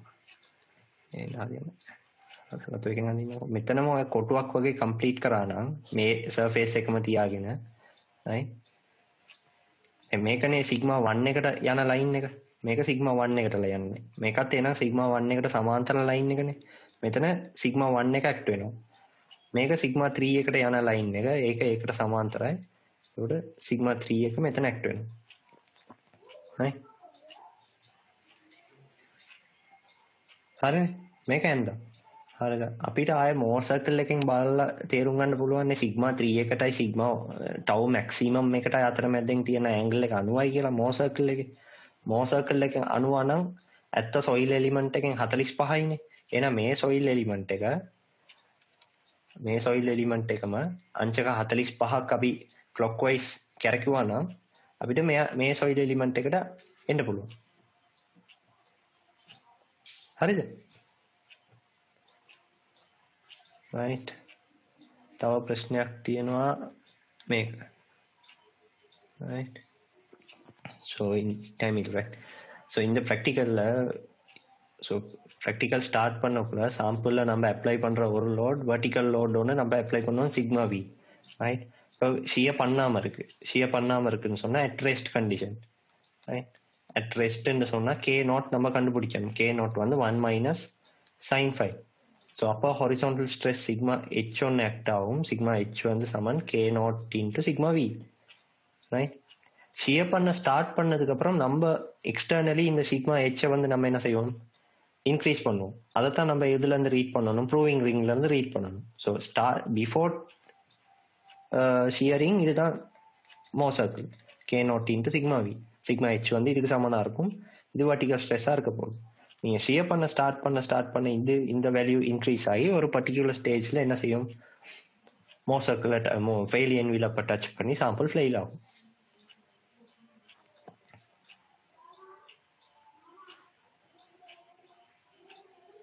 right uh, okay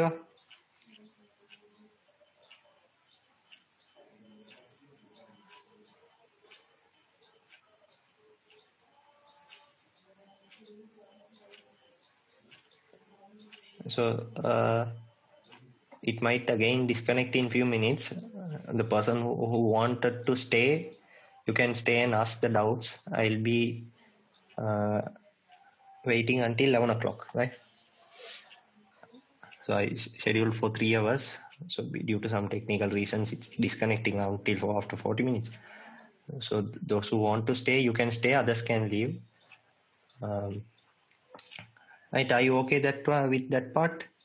And someone asked me about uh, anchor pile right? Uh, where was that question from? Day school 7 8 note right right wait a minute i'll just open that uh, note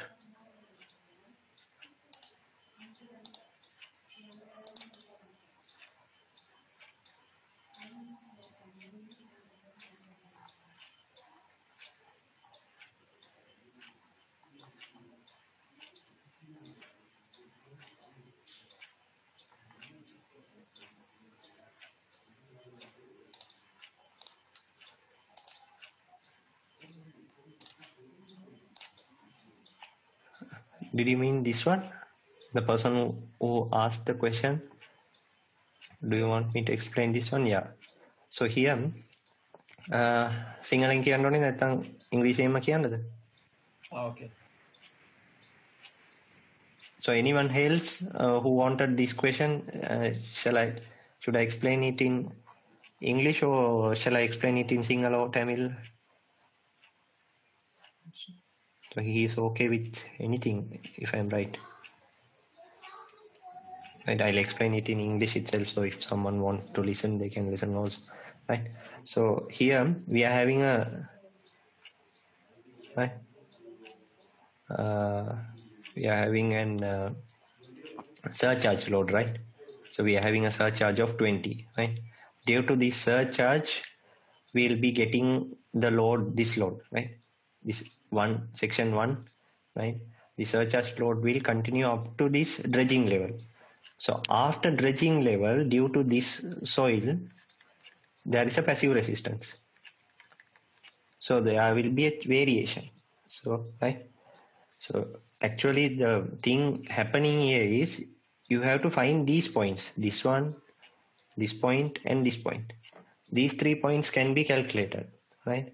Those are easy thing right at this starting point right we know q is 20 so from uh, sigma h that is our lateral stress is ka times q right? So ka can be calculated. Ka is 1 minus sine phi over 1 plus sine phi right? From this you can calculate the value and you will get a certain value. So that is this one that is ka times q so after that right this point at the water table here water table begins. So after water table our saturated value our submerged value is different. So before that our bulk unit weight. So uh, until here there will be a triangular variation right? So we have to find that value at this bottom one right? That sigma v would be gamma times that height that height gamma bulk right? Gamma b times that height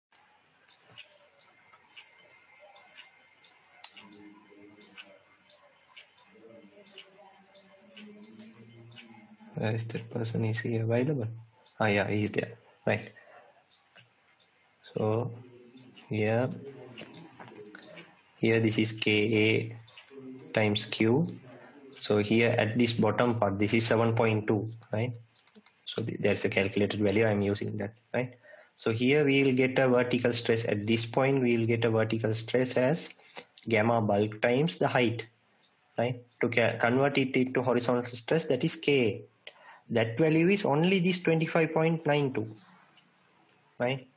So to get this 33.12 we have to add this value 7.2 that is the total uh, lateral stress acting at this point.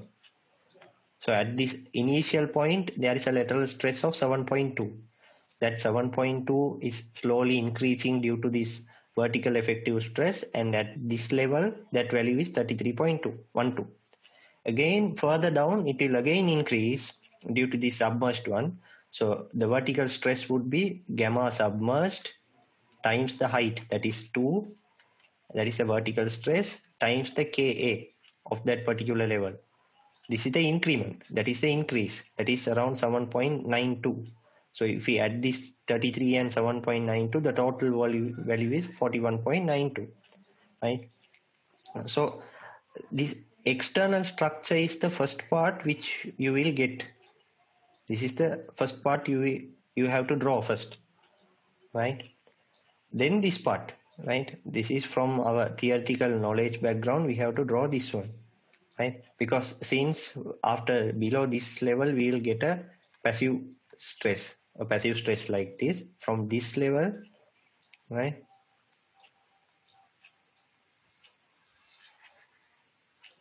right this level will get an active pressure. The resultant since passive coefficient is much larger the resultant would be in this direction itself here. That's why this final line goes in this manner right? So at this point the pressure becomes zero and therefore the calculations continue right? So here to find the t naught value right? We can find this value easily, right? Uh, let's say this is T, right? We can find this value easily you, using this pressure. Here the pressure is zero, right? So we can find uh, the equation for this line that is Kp minus Ka times gamma, right? Gamma is 11 times the depth T, right? That is the stress here due to this gradient. The total stress here is 41.14. That should be, both should be equal to make it zero. Active pressure is this much. This is the passive pressure. So active and pressure, passive cancels out and it becomes zero. We can find T. To find this T naught, we are going to take moment about this anchor point. So since we don't know the anchor force, we don't know the anchor force, we have to somewhat neglect this anchor force. So the only way to neglect this anchor force is to take moment. If you want to take moment, you can't figure uh, take moment for this entire outline figure directly, right? So you have to break down this one. You have to break it into smaller portions. That breakdown portions are these numbered portions: one, two, three, four, five, and six. Right? It is not compulsory to break down in this manner. Right? It is not compulsory. අනිවාර්යෙන් මේම කරන්න ඕනේ කියලා නැහැ. Right? You have to break down this into the easiest way. Right? As easy as possible. That is the trick here. So the, to make it easy, you have to uh, divide it into rectangles and triangles. Those are easy parts. So you, in that way, you can find the center of gravity easily and you can find the force easily so that you can find the lever arm also easily. Right? Lever arm is the distance of the center of gravity from the point where you are taking moment. Right? So there is a question where why there is no pore water pressure. So we are considering pore water pressure. Here, here we are considering the submerged and uh, in the both side the water level is same right water table is at the same level so this active passive pressure from the water will be cancelled by the active pressure from the water. Right? Both things will be cancelled out. So we no need to consider the water here. Right? The effective stress of the soil will be reduced by the water. That's why we are considering gamma submerged. So this is gamma submerged, we all know. So gamma saturated minus gamma water is gamma submerged. So this is the effective stress, right? We calculate effective stress using this. So that is directly equal to gamma submerged. Right, I hope uh, you would have understood this part. The further calculation, I think you can do it. The person who asked that one.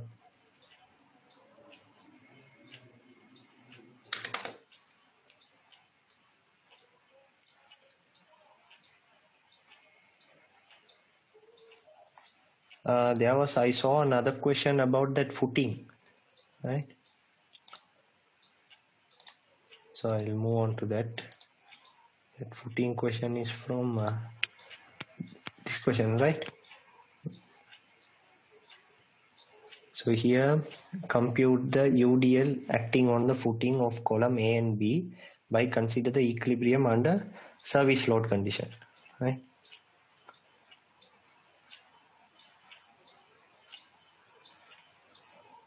Uh, uh, to find uh, so give me a minute i'll come back to the footing. Uh, they are right you have to draw the um, pressure distribution for that also. You have to draw a triangle it will be in a triangular format and again the same calculation procedure you have to find uh, the active pressure for that one. You have to find the stress total stress acting at the bottom so half times gamma w into h. Gamma w is 9.81 into h so that into the height. So you have to find the area of the triangle uh, and multiply it by h and into ka right? So simply something like this. Let's say you are having a water level right here. This is your water level and this is your base. Where the footing or the sorry the uh, retaining wall ends. So you will having you will be having a distribution like this right? Let's say this h So here at the bottom, the stress due to water would be gamma W into H, right? The total force, then the total force would be half into gamma W H into H, right? So into K. So that, that would be the active pressure, which would be acting here, F, due to water. So if there is H blanket, we no need to consider this one. That's all.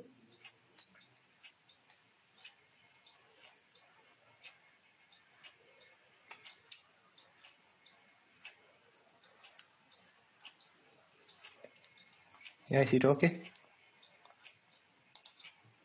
So then I'll move on to the footing part. So here in the footing, uh, right, it's in serviceability limit state. So the total load is 200 and here it is in the other footing, it's 225. So we have to find RA and RB, right? So I think RA and RB calculation would be easier, right? You have to just take some moments and resolve vertically and find RA and RB. So what was the value for RA and RB? Did you calculate that one, RA and RB?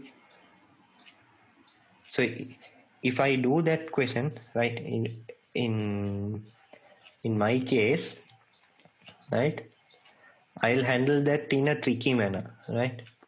So I'll explain that idea, uh, try to find that one, right? Try to understand that. So they're asking the UDL, right? So rather than substituting it as RA, right, I'll just consider it as a UDL itself acting at the bottom, right? And I'll take that UDL as WA. And here I'll take that UDL as WB, right? So what would be this RA? Again, you have to come back to this RA, but instead of using the term RA, I am using WA times 1.2. And here I'll use WB times 1.5. Right. So in this case, you can directly calculate WB and WA. So you will directly get that one. Right. So I'll just draw the footing here, a square footing something like this. Right. We so this is the portion which is into the boat. This is the portion we can't see. So this is 1200 here and for this footing it is 1500. Sorry, 1200 again. Same. So same width. The length is different. So we are changing the parameter in, along the length, right? So to, to draw the shear force diagram or bending moment diagram, we are changing the parameters in this direction. So that's why I have taken the variable parameter. So in along this direction, one parameter is 1200 and another parameter is 1500. So I have kept the variable in this direction and the constant to the other, other direction.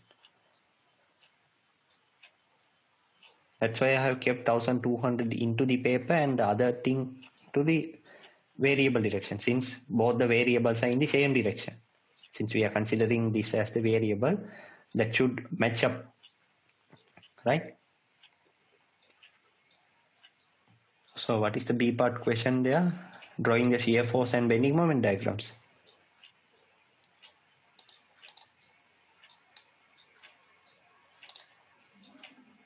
So a strap beam is constructed in columns A and B in order to maintain uniform bearing pressures beneath uh, two footings. Sketch the bending moment diagram and the shear force diagram for the beam. Show their uh, principal values and compute the resultant bending stresses in each footing when carrying service loads. Right. So here to draw the shear force diagram and bending moment diagram, uh, you know that, right? So here here there is a UDL that you have to consider some different portions that's all. So if you take if you annotate right. So here there is a UDL and here there is another UDL right? So this is the concept right? So uh, here this is section 1 this would be section 1 and there is another section here and section 3 so we have three sections. So finding the three sections and similar things. So this is somewhat like this. Uh, uh, if you see this in the upside down manner, So we are having two UDL. There's another one UDL here, and the beam continues, and there's another UDL here, and there's a reaction here. So this one, this is what we did in strength of material, right? So this is other way around. The same thing, the same procedure.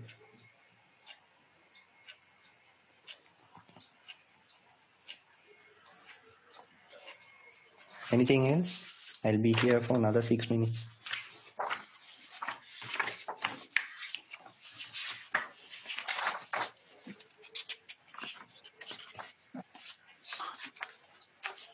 excuse me Yes. Okay A part එකයි C part එකේ දෙකෙන් මාන්නේ එකම problem එකද A එකෙනුයි C එකෙනුයි. A එකෙන් අහනවා UDL එක අහනවා. නේද? ඒ කියන්නේ පුටින්ස් වල ඉන්ඩිවිජුවල් මේ ඉන්ඩිවිජුවලි අරන්ද අපි එතකොට කැල්කුලේට් කරන්න ඕනේ UDL නැත්නම් ඒ කියන්නේ ස්ට්‍රිප් ස්ට්‍රැප් එක දාන්න කලින් නෙවෙයි දාන්නේ ඒක. ඔව් ස්ට්‍රැප් එක දාන්න කලින් තමයි පළවෙනි පාර්ට් එකෙන් අහන්නේ. හරිද? පොඩකින්න මේක මොන ඩේ ස්කූල් එකේද? කොළහ දලාන්න ලියප එක මක්කල මකළ මාරට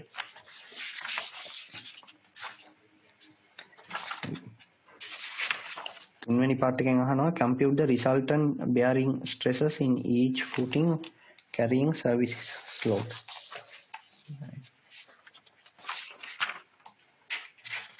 පළවෙනි එකේනුයි තුන්වෙනි එකේනුයි එකම ප්‍රශ්නේ නෙවෙයි. දැන් පළවෙනි එකේ අපි එතකොට මේ නෑ පළවෙනි එකෙන් ඔයාගෙන් මොනවද අහන්නේ? පළවෙනි එකෙන් ඔයාගෙන් අහනවා UDL එක අහනවා. එහෙමනේ. ඉන්ඩිවිජුවල් ෆුටින්ස් දෙක UDL දෙක නේ? UDL එක අහනවා. පළවෙනි පාර්ට් එකෙන් අපෙන් අහලා තියෙන්නේ UDL එක. හරිද? අහන වචන බලාගන්න. එතකොට ඔයාට ඒ වචන වලින් පොඩ්ඩක් කන්ෆියුස් වුණාද දන්නේ නැහැ.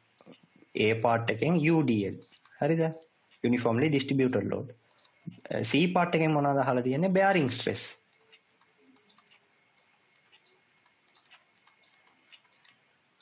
හරිද? ඔව් එතකොට ෆස්ට් පාර්ට් එකේ ඔතන UDL එක හොයනකොට ඔය එතකොට 200 ද බෙදන්න ඕනේ එතකොට ලෙන්ත් එකේ. නෑ නෑ නෑ නෑ 200 length එකකින් බෙදලා හරියන්නේ නෑ.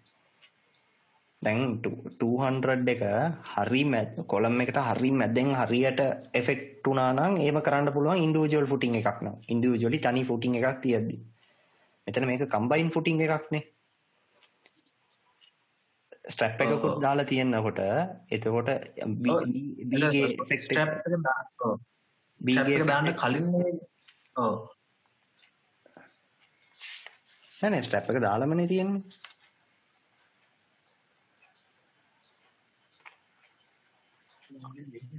ආ ඒ දෙවෙනි කොටස නෙවෙයිද ස්ට්‍රැප් එක දාන්න කියන්නේ. ඔව් දෙවෙනි එකේ ස්ටෙප් එක දාන්න කියනවා.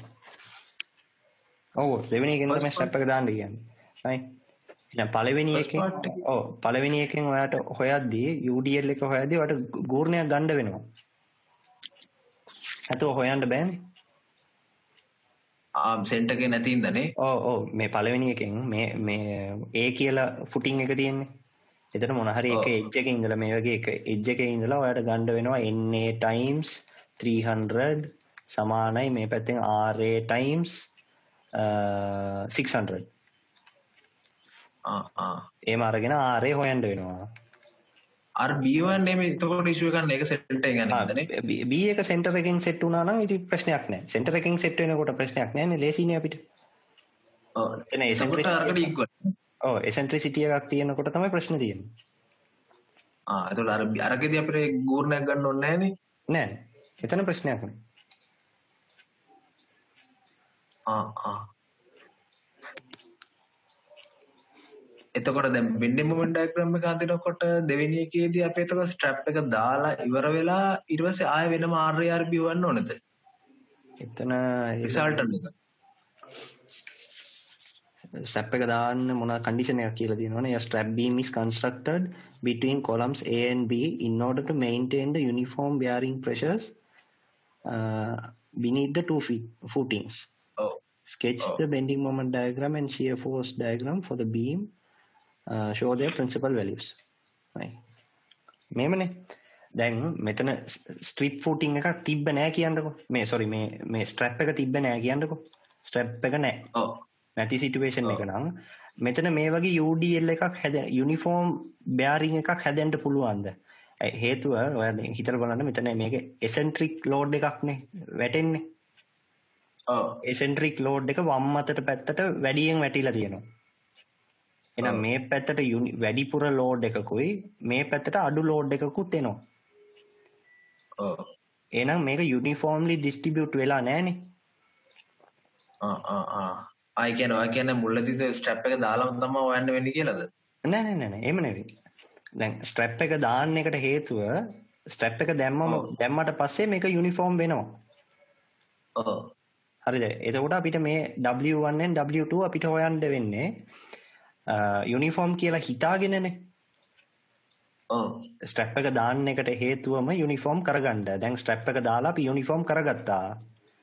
යුනිෆෝම්. කරගත්තා නම් මෙතන අපිට හරියට UDL එකක් මෙතනයි මෙතනටයි UDL එක හරියට හරියම එනවා. දැන්. ඒ UDL එක හොයන්න නම් ඔයාට RA දන්නවා RB දන්නවනේ. ඔව් ඒ මේ RA එක ඔයාට ලියන්න පුළුවන් UDL WA වාරයක් length. ඒ වගේම RB එකත් ඔයාට ලියන්න පුළුවන් WB වාරයක් L. එතකොට ලෝඩ් එකට මාරු වෙනවනේ. පොයින්ට් ලෝඩ් එකට. ඔව් දැන් අපි දැන් මේක යුනිෆෝම් හින්දා මේම ලියන්න පුළුවන් නේ අපිට. පුළුවන් ආ හරි. එහෙනම් L කියන්නේ මේ පේපර් එකට ඇතුලේ තියෙන එක. අපිට පේන්නේ නැති පැත්තක් තියෙනවනේ ඇතුලේ. ඔව් ආ ඒ ඒ අගයන් එක මේ එක්කෙනාටත් මේ දෙන්නට මේක 1200ක් කියලා අපි ගන්නවා. හරිද අපිට ඉස්සර ෆිගර් එකක් දීලා තියෙනවනේ. ඔව් හරිද? ආ නෑ මේ ෆිගර් එකෙන් අනිත් පැත්තනේ දීලා තියෙන්නේ. ආ පේපර් ඇතුලේ දීලා තියෙන එක 1500යි නේ. ඒක දැන් ඇතුළට ඔව් 1500ක් ඇතුළට. එහෙනම් අර පේපර් එකට ඇතුලේ දීලා තියෙන පැරාමීටර් එකෙන් මෙයාව බෙද- බෙදුවා නම් තමයි අපිට මේ මේ ඩිරෙක්ෂන් එකෙන් තියෙන UDL එක හම්බෙන්නේ.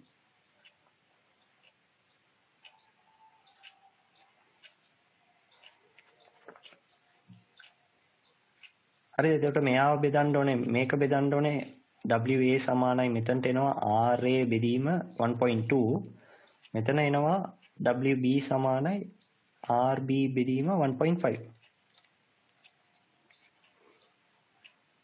මෙතන ෆිගර් එක දීලා තියෙනවනේ මම ෆිගර් එක දැක්කේ නැහැ.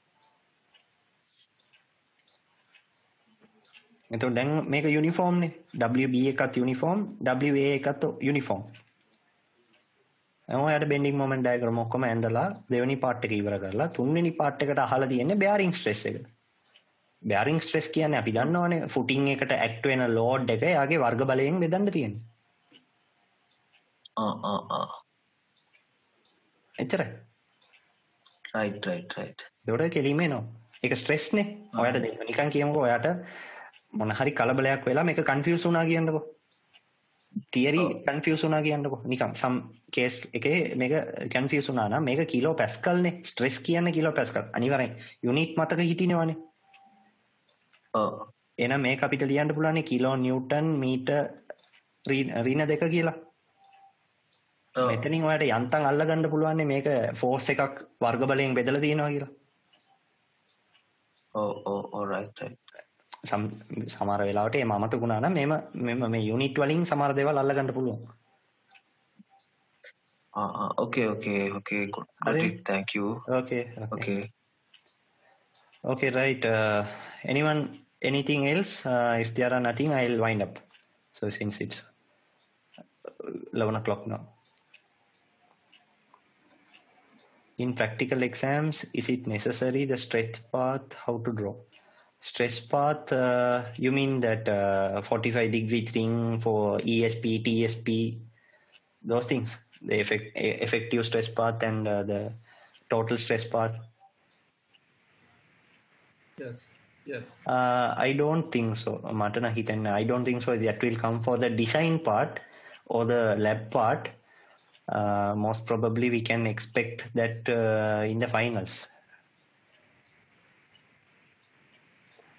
Okay. Okay, that's my opinion, right? So I don't know what will happen in the paper. I will also I also have to see that day after tomorrow. Anything else? There are some one way some are waiting here. There are about 20 people. If there are nothing, I'll wind up. I'll just wait only another two more minutes.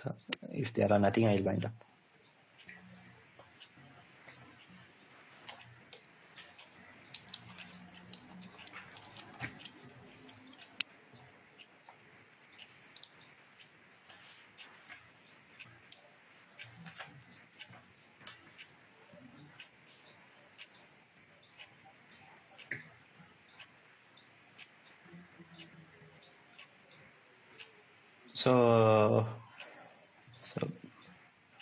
Best wishes from me to the exams. So let's meet up uh, on Monday at Colombo.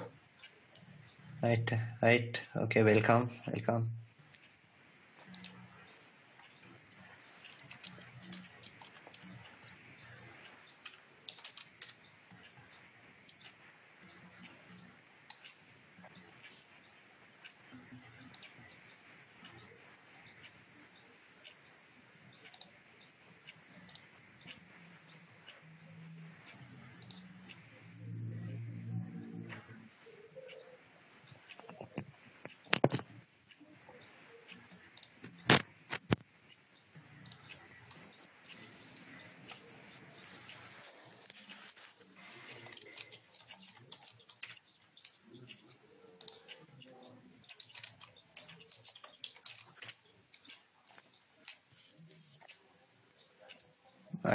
Okay, then see you all at the exams.